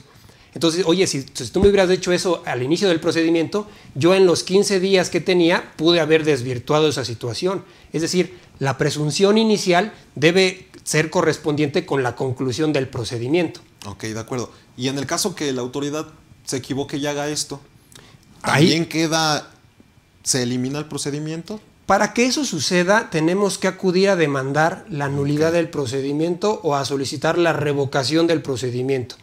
Recurso de revocación o juicio contencioso administrativo. Dependiendo de la- del sentido de la resolución y de la participación que haya tenido el contribuyente en estos procedimientos, es que se puede optar por uno o por otro. Pero en términos generales yo te puedo decir, si tenemos información pendiente por acompañar, yo sugeriría aportar, eh, perdón, presentar el recurso de revocación. ¿Por qué? Porque es un medio de defensa en sede administrativa que eh, se ha reconocido eh, que en- en- durante el transcurso y la presentación de este medio de defensa, el contribuyente aún puede aportar mayores elementos que los que aportó en el procedimiento de control, en el procedimiento de fiscalización, o el procedimiento de determinación de contribuciones. Ahí todavía podemos aportar mayores elementos y darle un contexto, una explicación a las autoridades fiscales. Todavía nos estamos peleando, vamos a decirlo así, en sede administrativa, con la autoridad fiscal. Sí, que si bien sabemos que el recurso de revocación va directamente con las propias autoridades fiscales, o sea, el SAT, juez y parte, muchos dicen, ya sabemos que está perdida. Hay, hay situaciones en las que sí se ganan en revocación, pero hay situaciones en las que dices, ya sé que es ante, la- ante los mismos que me están castigando, son los mismos que me van a juzgar. Sí. Pero ganamos tiempo precisamente para esta parte de pruebas, ¿no? Para esta parte documental. Bien, ahora, ya está el tema de que hay una resolución definitiva, se notifica también vía buzón y se notifica también vía este di- diario oficial de publicación. publicación en el SAT y diario oficial de la Federación. Así es. Lo, lo que tiene que suceder en este caso es que se notifica la resolución dentro del plazo de 50 días. Ya comentamos, si no es dentro Claro. del plazo de 50 días, el procedimiento, todo el procedimiento queda sin efectos. Pero pensando que sí se haga dentro de este plazo, viene la notificación en el buzón tributario y la autoridad fiscal debe dejar pasar un plazo de 30 días para entonces sí hacer las publicaciones correspondientes en el diario oficial y en la página del Servicio de Administración Tributaria. Cuando eso ocurra, podemos decir que ya estamos en presencia de la, de la lista negra, de la lista definitiva de EFOS, en donde la autoridad definitivamente ya me consideró como una facturera. ¿vale? Excelente. Aquí, perdón, adelante, perdón que te interrumpa. Todo lo que gustes. Si, si bien, si bien cuando se notifica por buzón tributario, estamos ya apenas en presencia de una, de una resolución definitiva, aquí hay una confusión en la práctica que eh, se ha dado y que ha impedido que algunos contribuyentes puedan acceder válidamente a los medios de defensa por haberlos interpuesto fuera del plazo. ¿Y a qué me refiero? Muchos contribuyentes consideraban que los 30 días para interponer recurso de revocación o presentar juicio contencioso administrativo empezaban a correr cuando se daba la- una notificación que hace el SAT diciendo, oye, ya te publiqué. O sea, una cosa es la resolución definitiva en donde te digo los motivos y fundamentos por los cuales considero que tú estuviste facturando operaciones inexistentes y otra es una resolución que se notifica en donde el SAT te dice, oye, respecto del procedimiento que seguí, te aviso que ya te, ya te notifiqué. El plazo para la interposición del medio de defensa debe contarse a partir de la resolución definitiva, no del posterior aviso en el que se, se notifica al contribuyente que se Porque si no me equivoco, esta resolución en donde te avisan que te publicaron, a veces se da y a veces no. Exactamente, a veces se da y a veces no. Entonces, la que siempre se va a dar, si aplica el caso, es la resolución definitiva. La otra en la que te están avisando que te publicaron a veces no llega. Bueno, me ha tocado dos ocasiones, no llega. ¿Desde dónde empezamos a contar? No, desde la definitiva, ¿no? Exactamente, desde la definitiva, Ahora, correcto. Son 30 días y ahora sí ya vamos al tema de los... Antes de entrar a medios de defensa, nos volteamos un poquito para ver los siguientes párrafos del 69 en donde caemos en un tema de EDOS. Correcto. Hablemos del procedimiento, pero también de la diferencia con los EFOS, porque aquí es en donde yo he notado bastante confusión de nuestros propios colegas. Así es. Eh, digamos que el procedimiento de EFOS de alguna manera se encuentra arreglado de tal forma que se dan ciertas certezas a los contribuyentes. ¿A qué me refiero? El contribuyente sabe perfectamente, bueno, si tiene activado su buzón tributario y lo, re- lo revisa de manera cotidiana, eh, sabe perfectamente cuándo inicia el procedimiento, cuál es la motivación, cuáles son los actos que se quieren revisar, cuál es la presunción que tiene en concreto la autoridad, cuáles son las certezas que dieron origen a este procedimiento, le dan un plazo en concreto para que pueda actuar y la autoridad tiene un límite temporal para concluir el procedimiento, un límite temporal de 50 días. Y las consecuencias para cualquiera de las dos partes que no cumpla con, esas con esos plazos, pues son claras, los establece la, la- la propia Sí, ley, sí, sí. las establecen las reglas del procedimiento. Claro. Eso para el procedimiento de EFOS. Cuando trasladamos esas garantías a los EDOS, nos damos cuenta que esas garantías no existen. Porque, en principio, el contribuyente EDO, el que supuestamente llevó a, bueno, más bien el que llevó a cabo operaciones con un contribuyente EFOS, nunca le llega una notificación a su buzón tributario ni a su domicilio en donde le digan, oye, revisé a uno de tus proveedores y considero que es una facturera.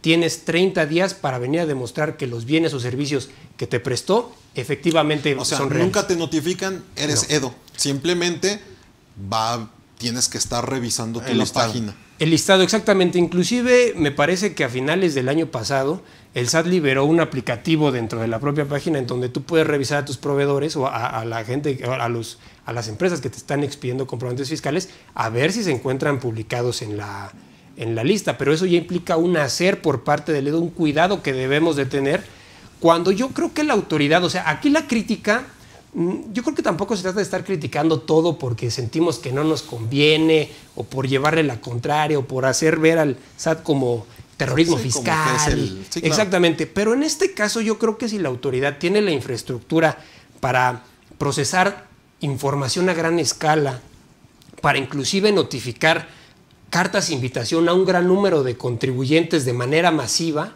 también podría crear una estructura con sus sistemas para decir, bueno, si ya consideré que este contribuyente es EFO y tengo la no. certeza de cuáles son los contribuyentes a los cuales les pidió comprobantes fiscales, ¿por qué no enviarles una notificación? ¿Es más chamba? Sí, sí es más chamba.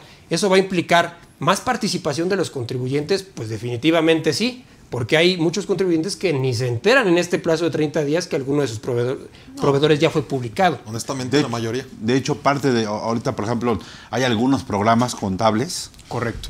que ya te, ya te marcan justamente qué empresas o con quién estás esperando y que están en el listado. O sea, ya de manera simultánea te mandan esas alertas en el programa contable, ¿no? Digo, no quiero decir marcas, pero ya hay algunos programas contables a la hora de que subes O contabilidad. sea, hacen ese cruce. hacen ese cruce exactamente y ya te mandan las alertas para que, para que detecten, ¿no? Que obviamente son las versiones más actualizadas, ¿no? Que creo que salió, si no mal recuerdo, abril, mayo más o menos de, de este año la última actualización y justamente te da esa información.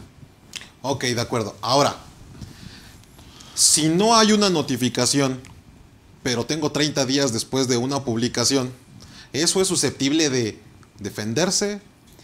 Sí es susceptible de defenderse porque aquí hay que hacer una precisión muy importante. Para el, para el procedimiento de EFOS, eh, en el que ya establecimos que de alguna manera sí se encuentran previstas las formalidades que va a tener este procedimiento, podemos considerar, y esto es muy importante, que la oportunidad de defensa para solventar, para, para- para demostrarle a las autoridades fiscales que las operaciones son existentes, es en ese procedimiento. ¿A qué me refiero? Si en ese procedimiento no acudimos a defender los derechos de este contribuyente o la defensa no fue adecuada o suficiente y la conclusión del procedimiento es que eres una facturera y hasta estás publicado, si la autoridad fiscal posteriormente inicia facultades de comprobación con ese mismo contribuyente y por el mismo periodo, el contribuyente no podría buscarle, buscar darle materialidad a las operaciones en una posterior facultad de comprobación. Es decir, la oportunidad que tú tienes para demostrar la materialidad de las operaciones siendo EFO es en el procedimiento del 69. Los 15 días. Los 15 días. Y los 5. Exactamente. Una facultad de comprobación posterior, el único efecto que tendría es restarle los efectos eh, fiscales a los comprobantes que emitiste y determinar las contribuciones que corresponda o en su caso, pues determinar los delitos que también en su caso se hubieran cometido. Ese es el efecto que tiene el, procedimiento del artículo 69 para EFOS.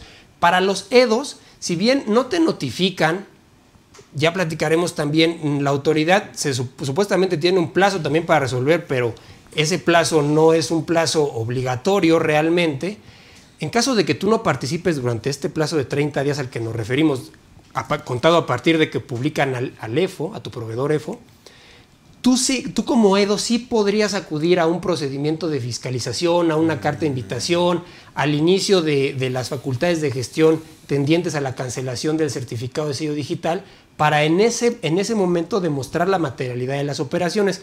Entonces, si bien no te, no, te avisan del inicio del procedimiento, lo cual contraviene el principio de seguridad jurídica para los contribuyentes, eso no significa que si dentro del plazo de 30 días no acudiste, ya no tienes esa oportunidad. Entonces, eso hay que tenerlo en cuenta, no hay que entrar en pánico. Si no acudimos, digo, lo ideal es que sí pudiéramos acudir al procedimiento, lo ideal es que tuviéramos nuestros 30 días completos para preparar nuestra estrategia, para aportar las pruebas, para aportar nuestros argumentos, pero en caso de que eso no suceda y, por ejemplo, después me inician una visita domiciliaria, yo sí podría decir en la visita domiciliaria, mira, estas operaciones son existentes.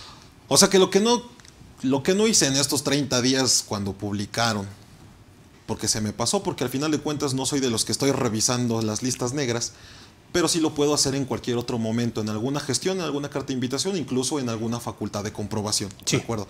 Bien, estos 30 días pasan y no desvirtué o, simplemente no aporté, pero ¿qué, sigue en ese, en ese procedimiento? Mira, aquí, aquí hay otro tema muy interesante. La mayor parte del procedimiento, bueno, una gran parte del procedimiento para EDO se encuentra previsto en la resolución miscelánea fiscal, lo cual por sí mismo también ya es, este, ayúdenme con una palabra que no suene tan ofensiva, ya es un insulto para los contribuyentes. Exactamente, es, es un insulto para los contribuyentes en cuanto a que un procedimiento arreglado con las consecuencias que tiene este procedimiento del artículo 69 en cuanto a que le vas a restar los efectos fiscales a los contribuyentes y eso puede constituir inclusive la comisión de delitos, no puede estar previsto en la resolución miscelánea. Sí, es como en la parte de los EFOS, si no me equivoco, está en el reglamento. O sea, en la parte de los 20 días adicionales, el 70 del reglamento. Correcto. Y en la parte de los EDOS, una regla miscelánea, que es la que te dice para, para, para, esta parte, ¿no? Es correcto. Si no mal recuerdo, es la regla 1.5 de la resolución miscelánea, en donde se establecen algunas etapas en cuanto a que la autoridad fiscal podría emitir un requerimiento de información adicional respecto de la información que sí aportó el EDO durante el plazo de 30 días, en caso de que se hubiera eh, enterado. Es decir, me doy cuenta que publicaron a uno de mis proveedores como EFOS.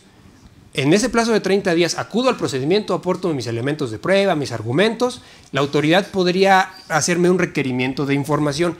Ese requerimiento de información se establece en una resolución miscelánea. El procedimiento, el, plazo máximo para que se concluya el procedimiento también está en resolución miscelánea. ¿Y esto en qué deriva? En que si la, la autoridad fiscal no concluye el procedimiento, no emite una resolución definitiva dentro de este plazo máximo que tiene, la consecuencia para los EDOS es que vamos a considerar que se configura una negativa ficta. Cuando para los EFOS, si no se resuelve en el plazo de 50 días, se deja sin efectos todo el procedimiento. Para los EDOS no. Para los EDOS es, si no te contestan expresamente en tu buzón tributario, si no, bien, si no te notifican una resolución definitiva, se configura una negativa ficta en términos del artículo 37 del Código Fiscal de la Federación y entonces vamos a considerar que si tú no estás de acuerdo con esa negativa ficta, puedes acudir al juicio contencioso administrativo a demandarlo. Sí, es susceptible de, impugnarse esta negativa ficta. Entonces, Perdón, vamos a, vamos a pensar que me enteré, que acudí dentro del plazo, es más que solventé requerimientos, que estoy con la incertidumbre de qué va a suceder y la autoridad fiscal podría simplemente no contestar el procedimiento. ¿Eso a ustedes les parece que contribuye a la seguridad jurídica de los contribuyentes? No. Pues, por supuesto que no. O sea, los límites temporales para resolver un procedimiento y para actuar, para actuar en un procedimiento administrativo deben estar plenamente establecidos en la ley y la consecuencia también. No hacer una maniobra en resolución miscelánea, porque al rato podría venir un cambio y ya no van a ser 30 días para resolver, podrían ser 60, 100, 10. O sea, ¿qué ¿Por qué seguridad? crees, por- perdón, ¿por qué crees que sea resolución miscelánea? O sea, ¿por qué no directamente en texto? Mira, yo creo que es una manera de convalidarlo, lo he dicho en, en otras ocasiones en este mismo espacio de, de Cadefi, eh, que de alguna forma se, le, se- se trata de darle cierta flexibilidad a las autoridades fiscales para que puedan resolver los procedimientos. Pero finalmente no estamos hablando de cualquier trámite, no estamos hablando de una solicitud en donde a lo mejor yo me puedo esperar a ver qué me resuelven. Aquí la resolución al procedimiento impacta en lo que yo tengo que hacer para corregir mi situación fiscal incluso, ¿no?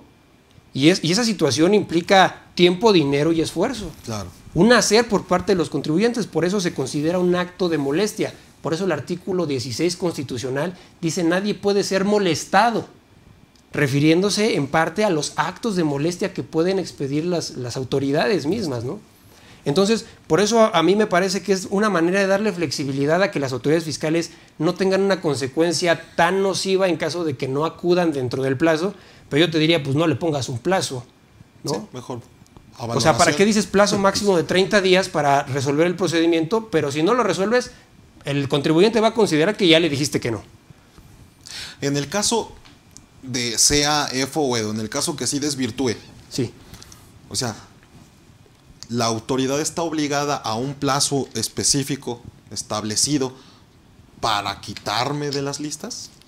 La publicación es trimestral, si no me recuerdo, para el caso de los, de los EFOS, que son los que publican. Eh, en caso de que tú logres desvirtuar esta presunción, ya sea en el procedimiento administrativo o en el juicio contencioso, que es un procedimiento jurisdiccional, eh, eh, me parece que trimestralmente se hace la publicación de los contribuyentes que lograron desvirtuar la Sí, presunción. pero haz de cuenta que, por ejemplo, si yo soy un contribuyente y digo, oye, autoridad, ya desvirtué, ya quítame de la lista, y la, y la autoridad se hace de la vista gorda, se hace de la vista gorda, ¿podríamos nosotros hacer algo ahí? En ese caso en particular, y, y vamos a pensar que viene la siguiente lista de los que lograron desvirtuar y no me publican a mí diciendo que ya lo hice, eh, en ese caso yo creo que sí podríamos promover un juicio de amparo indirecto por una indirecto. violación directa a la Constitución. Ok, en excelente. algún momento yo recuerdo que hubo una situación así y fue también por medio de la Prodecon. No sé si, si te ha tocado casos este, similares. Fíjate que la Prodecon es una institución que definitivamente puede ser muy útil en este tipo de casos. Creo que tienen mucha experiencia y sí, la, la- la Prodecon, recordemos que es una justicia alterna, eh, tiene procedimientos alternos a los jurisdiccionales, aunque también se hace un acompañamiento en caso de que se interpongan recursos de revocación o juicio contencioso.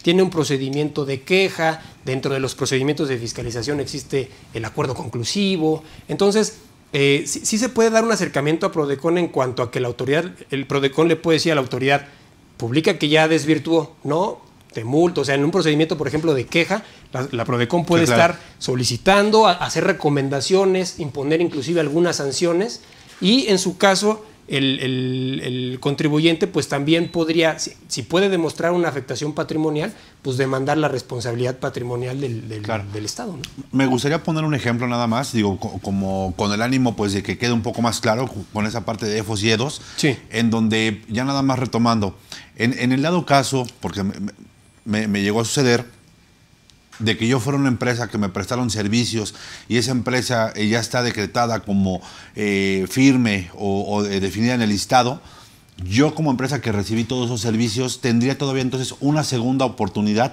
para poder hacerle llegar a, a- a la autoridad justamente todas estas pruebas y desvirtuar. Pero ¿en, en qué instancia? En la, en la instancia de las empresas que se dedican, bueno, que en este caso yo, yo me deduje los comprobantes fiscales una vez que no supe que estaba en el listado y que hay una segunda instancia, ¿no? Entonces digo, para que quede clara esa parte, si, si, si yo como empresa contraté servicios, nunca me di cuenta que estaba en el listado eh, mi, mi- mi proveedor, habría esa segunda instancia entonces, hasta que puedan ser facultades de comprobación o me requiera por medio de alguna visita a la, la- la autoridad. Correcto. Sí, sí estamos en eso mismo, ¿no? Estamos exactamente. Perfecto. en eso. Excelente, pues bueno, hasta aquí hemos hecho esta diferencia, ¿no? Diferenciación entre los procedimientos tanto para EFOS como para EDOS. No sé si tengamos algún tema ahí de, de preguntas, si no, si no, pues, ah, ok, perfecto, continuaremos. Y es, antes de entrar en sí a los medios de defensa, ya como para ir concluyendo, ir, ir, ir pensando en esta parte de, de qué, qué, qué valor agregado le vamos a dar a nuestros asistentes es, entonces el procedimiento del 69B nada tiene que ver con una facultad de comprobación del 42. ¿Por qué una autoridad entraría con un procedimiento de 69 y por qué la autoridad entraría a, un, a, un- a una facultad de comprobación diciendo que encontró elementos de 69B? O sea, ¿qué diferencia hay entre estas dos de que una es un procedimiento y la otra es una facultad de comprobación? Sí, son, son justamente los fines que persigue cada uno de los procedimientos. Regresamos al contexto en el que nace, en el que se adiciona el artículo 69. El artículo 69 por sí mismo no es un procedimiento fiscalizador, es decir, de ninguna manera va a concluir la, resolución definitiva que en el procedimiento de EDOS o de EFO se pudiera eh, pronunciar la autoridad fiscal como resolución definitiva con la determinación de créditos fiscales. Ese no es el fin. Si, nosotros analizamos la exposición de motivos del artículo 69, par- eh, en parte lo que busca es detectar e inhibir, sancionar este tipo de conductas, no necesariamente determinar créditos fiscales. Para determinar créditos fiscales, pues están las facultades de comprobación del artículo 42 del Código Fiscal de la Federación. O sea- es una medida de control más que una medida de fiscalización. Lo mismo sucede, por ejemplo, también con la cancelación de sellos. Son facultades de gestión, no facultades de comprobación detengo, de- si ya estoy detectando que un contribuyente está incumpliendo con alguna obligación sustantiva, material o formal eh, en materia fiscal, entonces detengo su facturación, le, le pido que venga y me aclare qué está pasando y eso no necesariamente constituye una facultad de comprobación para determinar el correcto pago de contribuciones. ¿no? Entonces, el 69B es simplemente para detectar, darme cuenta quién está haciendo operaciones simuladas, operaciones inexistentes, y ya hablar entonces de una facultad de comprobación es el fin de fiscalizar, de tener, obtener crédito fiscal, etcétera, etcétera. Ahora bien, este punto es importante porque el Poder Judicial ha reconocido que para que se dé un reconocimiento de inexistencia de operaciones no es necesario que se agote el procedimiento del artículo 69. Es decir, esta determinación de que una operación es inexistente podría darse en facultades de comprobación del artículo 42. ¿A qué me refiero? Si, si, si están ejerciendo este tipo de facultades de comprobación del artículo 42 y la autoridad considera que determinadas operaciones son inexistentes, como contribuyentes no sería productivo que le digamos, oye, para que tú llegues a esta conclusión tenías que ejercer el procedimiento del artículo 69, no es necesario. Es justo lo que te iba a preguntar. Ahora, me, me gustaría nada más tocar un último tema, si me lo permites, Lalo. Adelante, adelante, Eh, referente, básicamente, por ejemplo, y me sucedió ahorita recientemente, de una solicitud de devolución de una persona física que se dedica al tema de honorarios, pide la devolución y me hace la gestión y me, y me responde, ¿sabes? Me hace un requerimiento y me dice, oye, ¿sabes qué? Mándame, mándame toda la, la- la información, mándame comprobantes, mándame gastos, toda la gestión que te piden cuando haces una solicitud de devolución de manera manual, ¿no?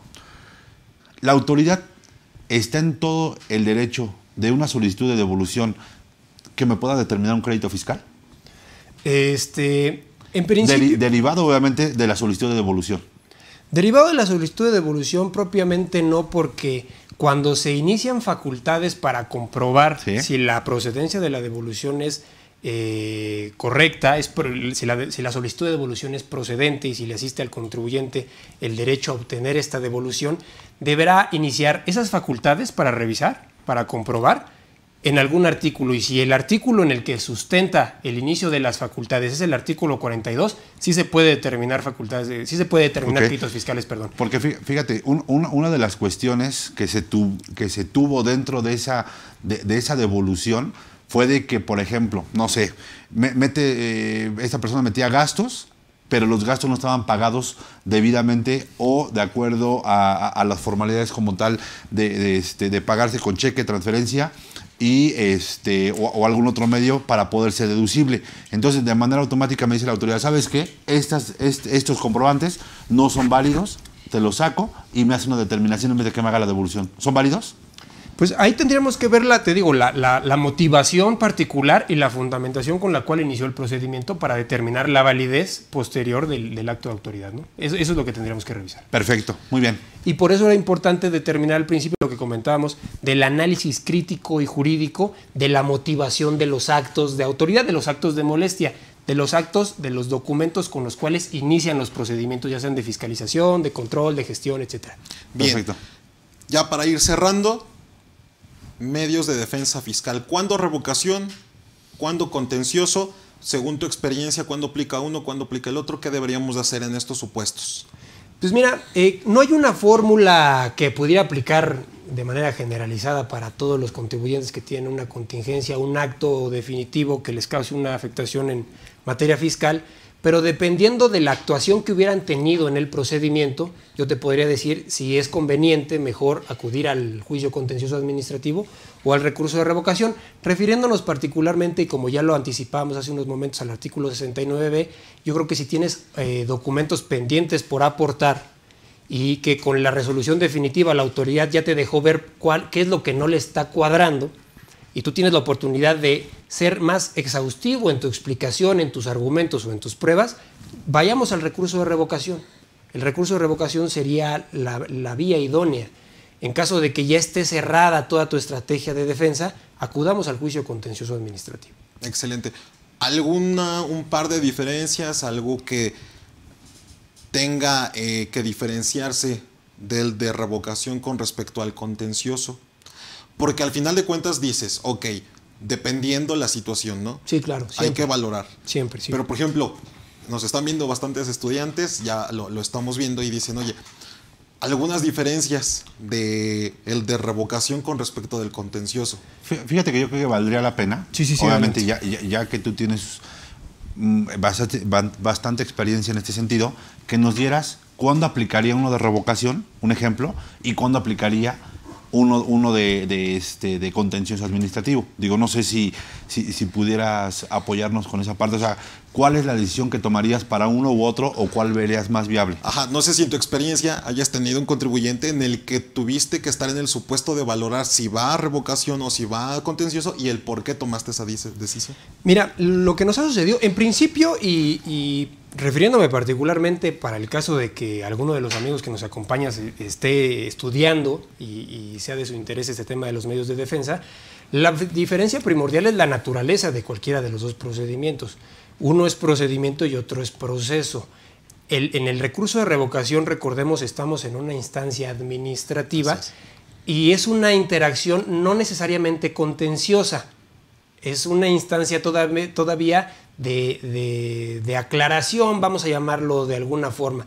Aunque sí se establece de alguna manera agravios, le explicamos el agravio que me causa el acto jurídico que estoy controvirtiendo, realmente no es una etapa jurisdiccional. ¿Por qué? Porque no hay un tercero que dirima la controversia de inicio. Entonces, la diferencia primordial es que la naturaleza de un procedimiento es administrativo y la otra es un procedimiento jurisdiccional, independientemente de que el Tribunal Federal de Justicia Administrativa sea un tribunal administrativo que no pertenece propiamente al Claro, Poder sí, Judicial de la. Federación. Sí, ¿no? claro. Entonces, para poner en contexto a los que estamos empezando en estos temas. Bien, ¿qué pasa cuando la estrategia de defensa que adoptamos fue hasta cierto punto incompleta en cuanto a que no logramos comprender cuál fue la motivación que, el- que- que derivó en el inicio del procedimiento para EFOS, por ejemplo? Y entonces no logramos explicar con argumentos, no logramos, eh, digamos, que hacer una relación concatenada entre nuestros medios de prueba al momento de que desahogamos el procedimiento, de que lo atendimos en ese plazo de 15 días. Sí. A lo mejor ese procedimiento no lo atendió un abogado o un contador que conozca de estos Claro, temas, claro. que conozca de las reglas de la valoración de las pruebas, ¿no? Que platicábamos hace rato. Entonces, en ese caso, lo que yo sugeriría es que acudamos al recurso de revocación porque ahí podemos hacer valer todavía algo que se llama la prueba indiciaria. Que de hecho también se puede hacer en juicio contencioso. contencioso, y sí. explico, la prueba indiciaria, amigos, les sugiero que entremos al estudio, analicemos qué es. en qué consiste, hay, hay algunas tesis muy importantes, hay pronunciamientos de Prodecon en cuanto a qué es la prueba indiciaria y a, y a qué me refiero con esto. La prueba indiciaria, cuando no tenemos una prueba directa para acreditar una situación, pero tenemos ciertos elementos que apuntan hacia un mismo sentido y que podemos relacionar entre ellos, podemos entonces también crear eh, certeza, convicción en la autoridad fiscal o en el Tribunal Federal de Justicia Administrativa de que me asiste la razón de que mi pretensión es correcta, es cierta, de que en este caso logro desvirtuar la presunción de operaciones inexistentes. Esa es la defensa sustancial en la que tenemos que estar pensando. Y con eso incluso podemos salvar el tema de la fecha cierta. ¿A qué me refiero? Vamos a suponer que yo sistemáticamente no le doy fecha cierta a mis contratos. No los llevo ante un fedatario público y a lo mejor ni siquiera sabía que podía firmarlos electrónicamente, ¿no? Eso me enteré con la charla que dieron ustedes aquí en. Cali. Pero hasta, hasta, Claro. hasta la charla no sabía. Entonces, ¿qué pasa si yo tengo un contrato sin esa característica de fecha cierta respecto de una operación real? Tengo estados de cuenta en donde lo que dice el contrato que voy a pagar, hay una salida de dinero. Tengo el CFDI. Tengo además documentos con los cuales se puede crear convicción de que el servicio se prestó. Tengo inclusive a lo mejor alguna evidencia fotográfica. Es decir, tengo todas esas evidencias, pero además el trabajo argumentativo, lo que yo le voy a explicar a las autoridades fiscales es cómo todos esos elementos se relacionan y apuntan hacia un mismo sentido. Por ejemplo, que un contrato se llevó a cabo en determinado momento, Claro. fecha cierta.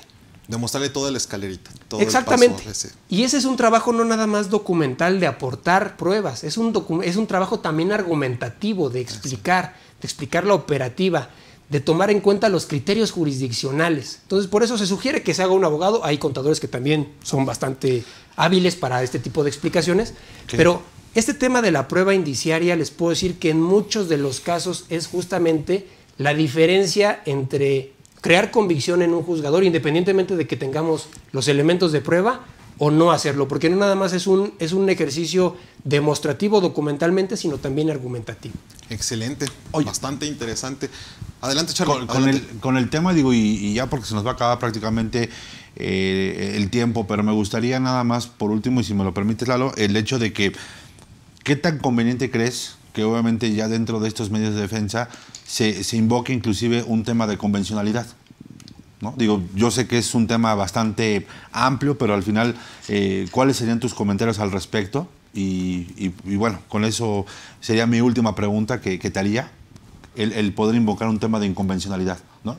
Este, pues mira, eh, se- sería válido, eh, tendríamos que analizar cuál es el criterio de la convención o del Tribunal Internacional que podemos hacer valer.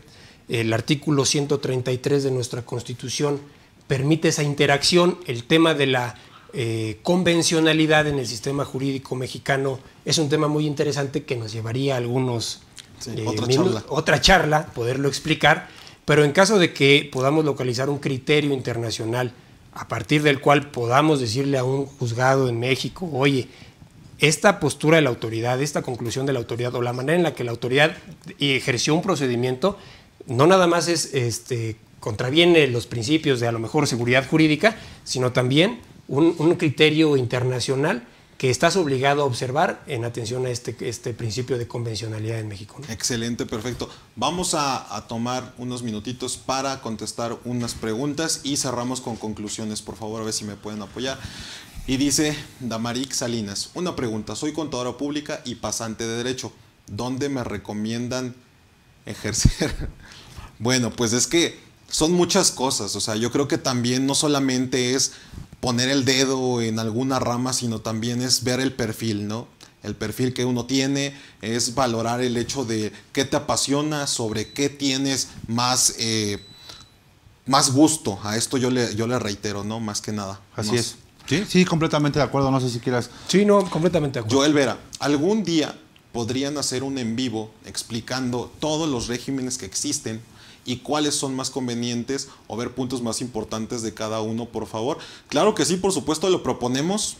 Abogados contadores hablando de regímenes fiscales, porque igual no es una receta de cocina, sino también depende de cada, de, de cada negocio. ¿no? de cada actividad, de Así cada es. contribuyente, ¿no? Efectivamente. Antonio Emba, ¿Qué tan recurrente se da la inmaterialidad por mala administración? Y cuando se da en verdad la simulación de operaciones de mala fe para evadir, de, para evadir impuesto. Bueno, si entiendo el contexto es qué tan recurrente se da el tema de la no materialidad, de la inmaterialidad. La verdad es que nosotros todos estamos expuestos a no contar con materialidad porque el concepto es muy subjetivo, ¿no? O sea, yo me atrevería a decir que el hecho de que yo tenga un comprobante o un contrato, el que te, tenga el caminito de negociaciones, de cotizaciones, de expertos, de peritajes, no me garantiza que la autoridad me lo considere como materialidad. Correcto. ¿No? Adelante, chicos. Y bueno, eh, dice Francisco Mendoza. ¿Qué tal, Francisco? Un saludo. Buenas tardes. Pregunta, una persona moral a la cual le congelan sus cuentas bancarias por X o Y razón, me pagó facturas en efectivo y yo como buen mexicano me gasté las cosas eh, personales y lo deposité en mi cuenta de banco, ahora cómo le puedo hacer para dar por pagadas esas facturas sin depositar dicha cantidad en el, en el banco. Tómala, eso no se pregunta. Pues es que, es que yo creo que esta es una mala administración, una mala gestión en donde pues, no son cosas que no se pueden realizar porque ¿qué va a pasar si tú haces el depósito en la cuenta bancaria? Se va a presumir como un ingreso y tendrías que acumularlo como tal. No, y mira, honestamente lo decía este Omar bien. No se trata de que juzguemos si hacen bien o no las cosas, pero sí es cierto es que el, auditoría fiscal no siempre es el enemigo, no siempre es el que se equivoca. No, o sea, yo, repito la frase que dije la vez pasada, la charla pasada, la vez que el fisco ha actuado en proporción o en función de también cómo se ha portado el contribuyente, ¿no? 5. Fiscal Tax. Soy Emilio Zúñiga. Saludos. ¿Es beneficioso o perjudicial pedir a clientes y proveedores información, información cierta de activos, colaboradores, cuentas bancarias, situaciones ante el IMSS, situación ante el SAT? Pues es que es parte del control, ¿no? Hoy inclusive dentro de, dentro de las políticas de, gestión para poder seguir operando con clientes o proveedores, es información que puedes hasta solicitar, ¿no? Ya ahí va a depender qué tanto pueda darte tu cliente o tu proveedor esta información. No sé si quieras agregar algo más, este Omar. Este, no, inclusive como parte de lo que se establece en la reforma, digamos nada más para aterrizarlo a, lo que establece en concreto la ley, con la reforma de la subcontratación recientemente publicada en abril, este, parte de lo que se establece al momento de realizar estos servicios especializados es que eh, tu proveedor te pueda garantizar, te pueda demostrar que está al, corriente con sus con sus este, obligaciones. con el cumplimiento de obligaciones fiscales, por ejemplo, ante el IMSS, ante el Infonavit, y es parte también de los requisitos que se establecen para que te puedas registrar. ¿no? Es. Este, Tener este palomita en todos estos aspectos. Exactamente, entonces, como lo comentaba el contador, parte de, la, de las políticas o del, control interno que debemos tener es pues, justamente la identificación de nuestros clientes y proveedores. ¿no? Entonces, este, a lo mejor ahí firmar un contrato de confidencialidad podría beneficiar a que se dé este intercambio de información entre, entre ambas partes. Bueno, pues nada más quiero comentarles a todos nuestros asistentes todas las preguntas que se quedaron por contestar haremos en la medida de lo posible todo el esfuerzo para que ninguna, ninguna quede sin su respectiva respuesta. Conclusiones finales, Charlie, conclusiones finales, mi querido Omar. Y... Adelante primero, Omar, por favor. Gracias. Este, bueno, pues sin dejar de agradecer la invitación, este, pues yo lo que, lo que considero es que eh, la salida, la solución es, es la implementación de un tema de, de control interno, de un órgano de vigilancia dentro de nuestra, dentro de nuestra empresa. Esa, esa es, yo creo que gran parte de la respuesta que estamos buscando como contribuyentes, inclusive eh, a partir de 2014, si no mal recuerdo, en el Código Nacional de Procedimientos Penales se establece un atenuante para las personas morales, Que, incurran en algún delito, eh, para el caso de que tengan un órgano de vigilancia y, y, protocolos establecidos, procedimientos, normas. Entonces, yo creo que empezar a pensar en el control interno y en estas políticas de prevención, como algo necesario en nuestra empresa, nos va a quitar muchos dolores de cabeza. Ya no es un servicio que me ofrece mi contador y mi abogado, en donde creo que nada más me quiere cobrar más honorarios de los que ya me venía cobrando, porque no le encuentro la sustancia, la utilidad. Bueno, ya tengo establecidos mis, políticas, pero eso de facto ya sucede. No, hay que tenerlo. Y, y, mi sugerencia para el tema de materialidad y razón de negocio es que nuestra propia política nos dé ese resultado, esa realidad de la que ya platicábamos. Mi querido Charlie. Pues eh, yo creo que complementando ya lo, lo que, lo que comenta Omar es justamente eh, ir identificando los, la- las áreas de oportunidad que tenemos dentro de la empresa e irlas acotando para poder evitar pues, algún procedimiento administrativo por parte de la autoridad y un problema mayor. ¿no? Yo creo que eso sería mi comentario final y pues agradecerte como siempre tanto a Omar como a ti, pues obviamente esta charla que estuvo bastante agradable y, y muy amena. Qué Muchas bueno gracias, Lalo. gustó, excelente. Y pues bueno, a mí no me queda más que agradecerles por favorecernos con su presencia, con sus comentarios, por su participación y nos vemos hasta la próxima charla. Hasta luego y muchísimas gracias.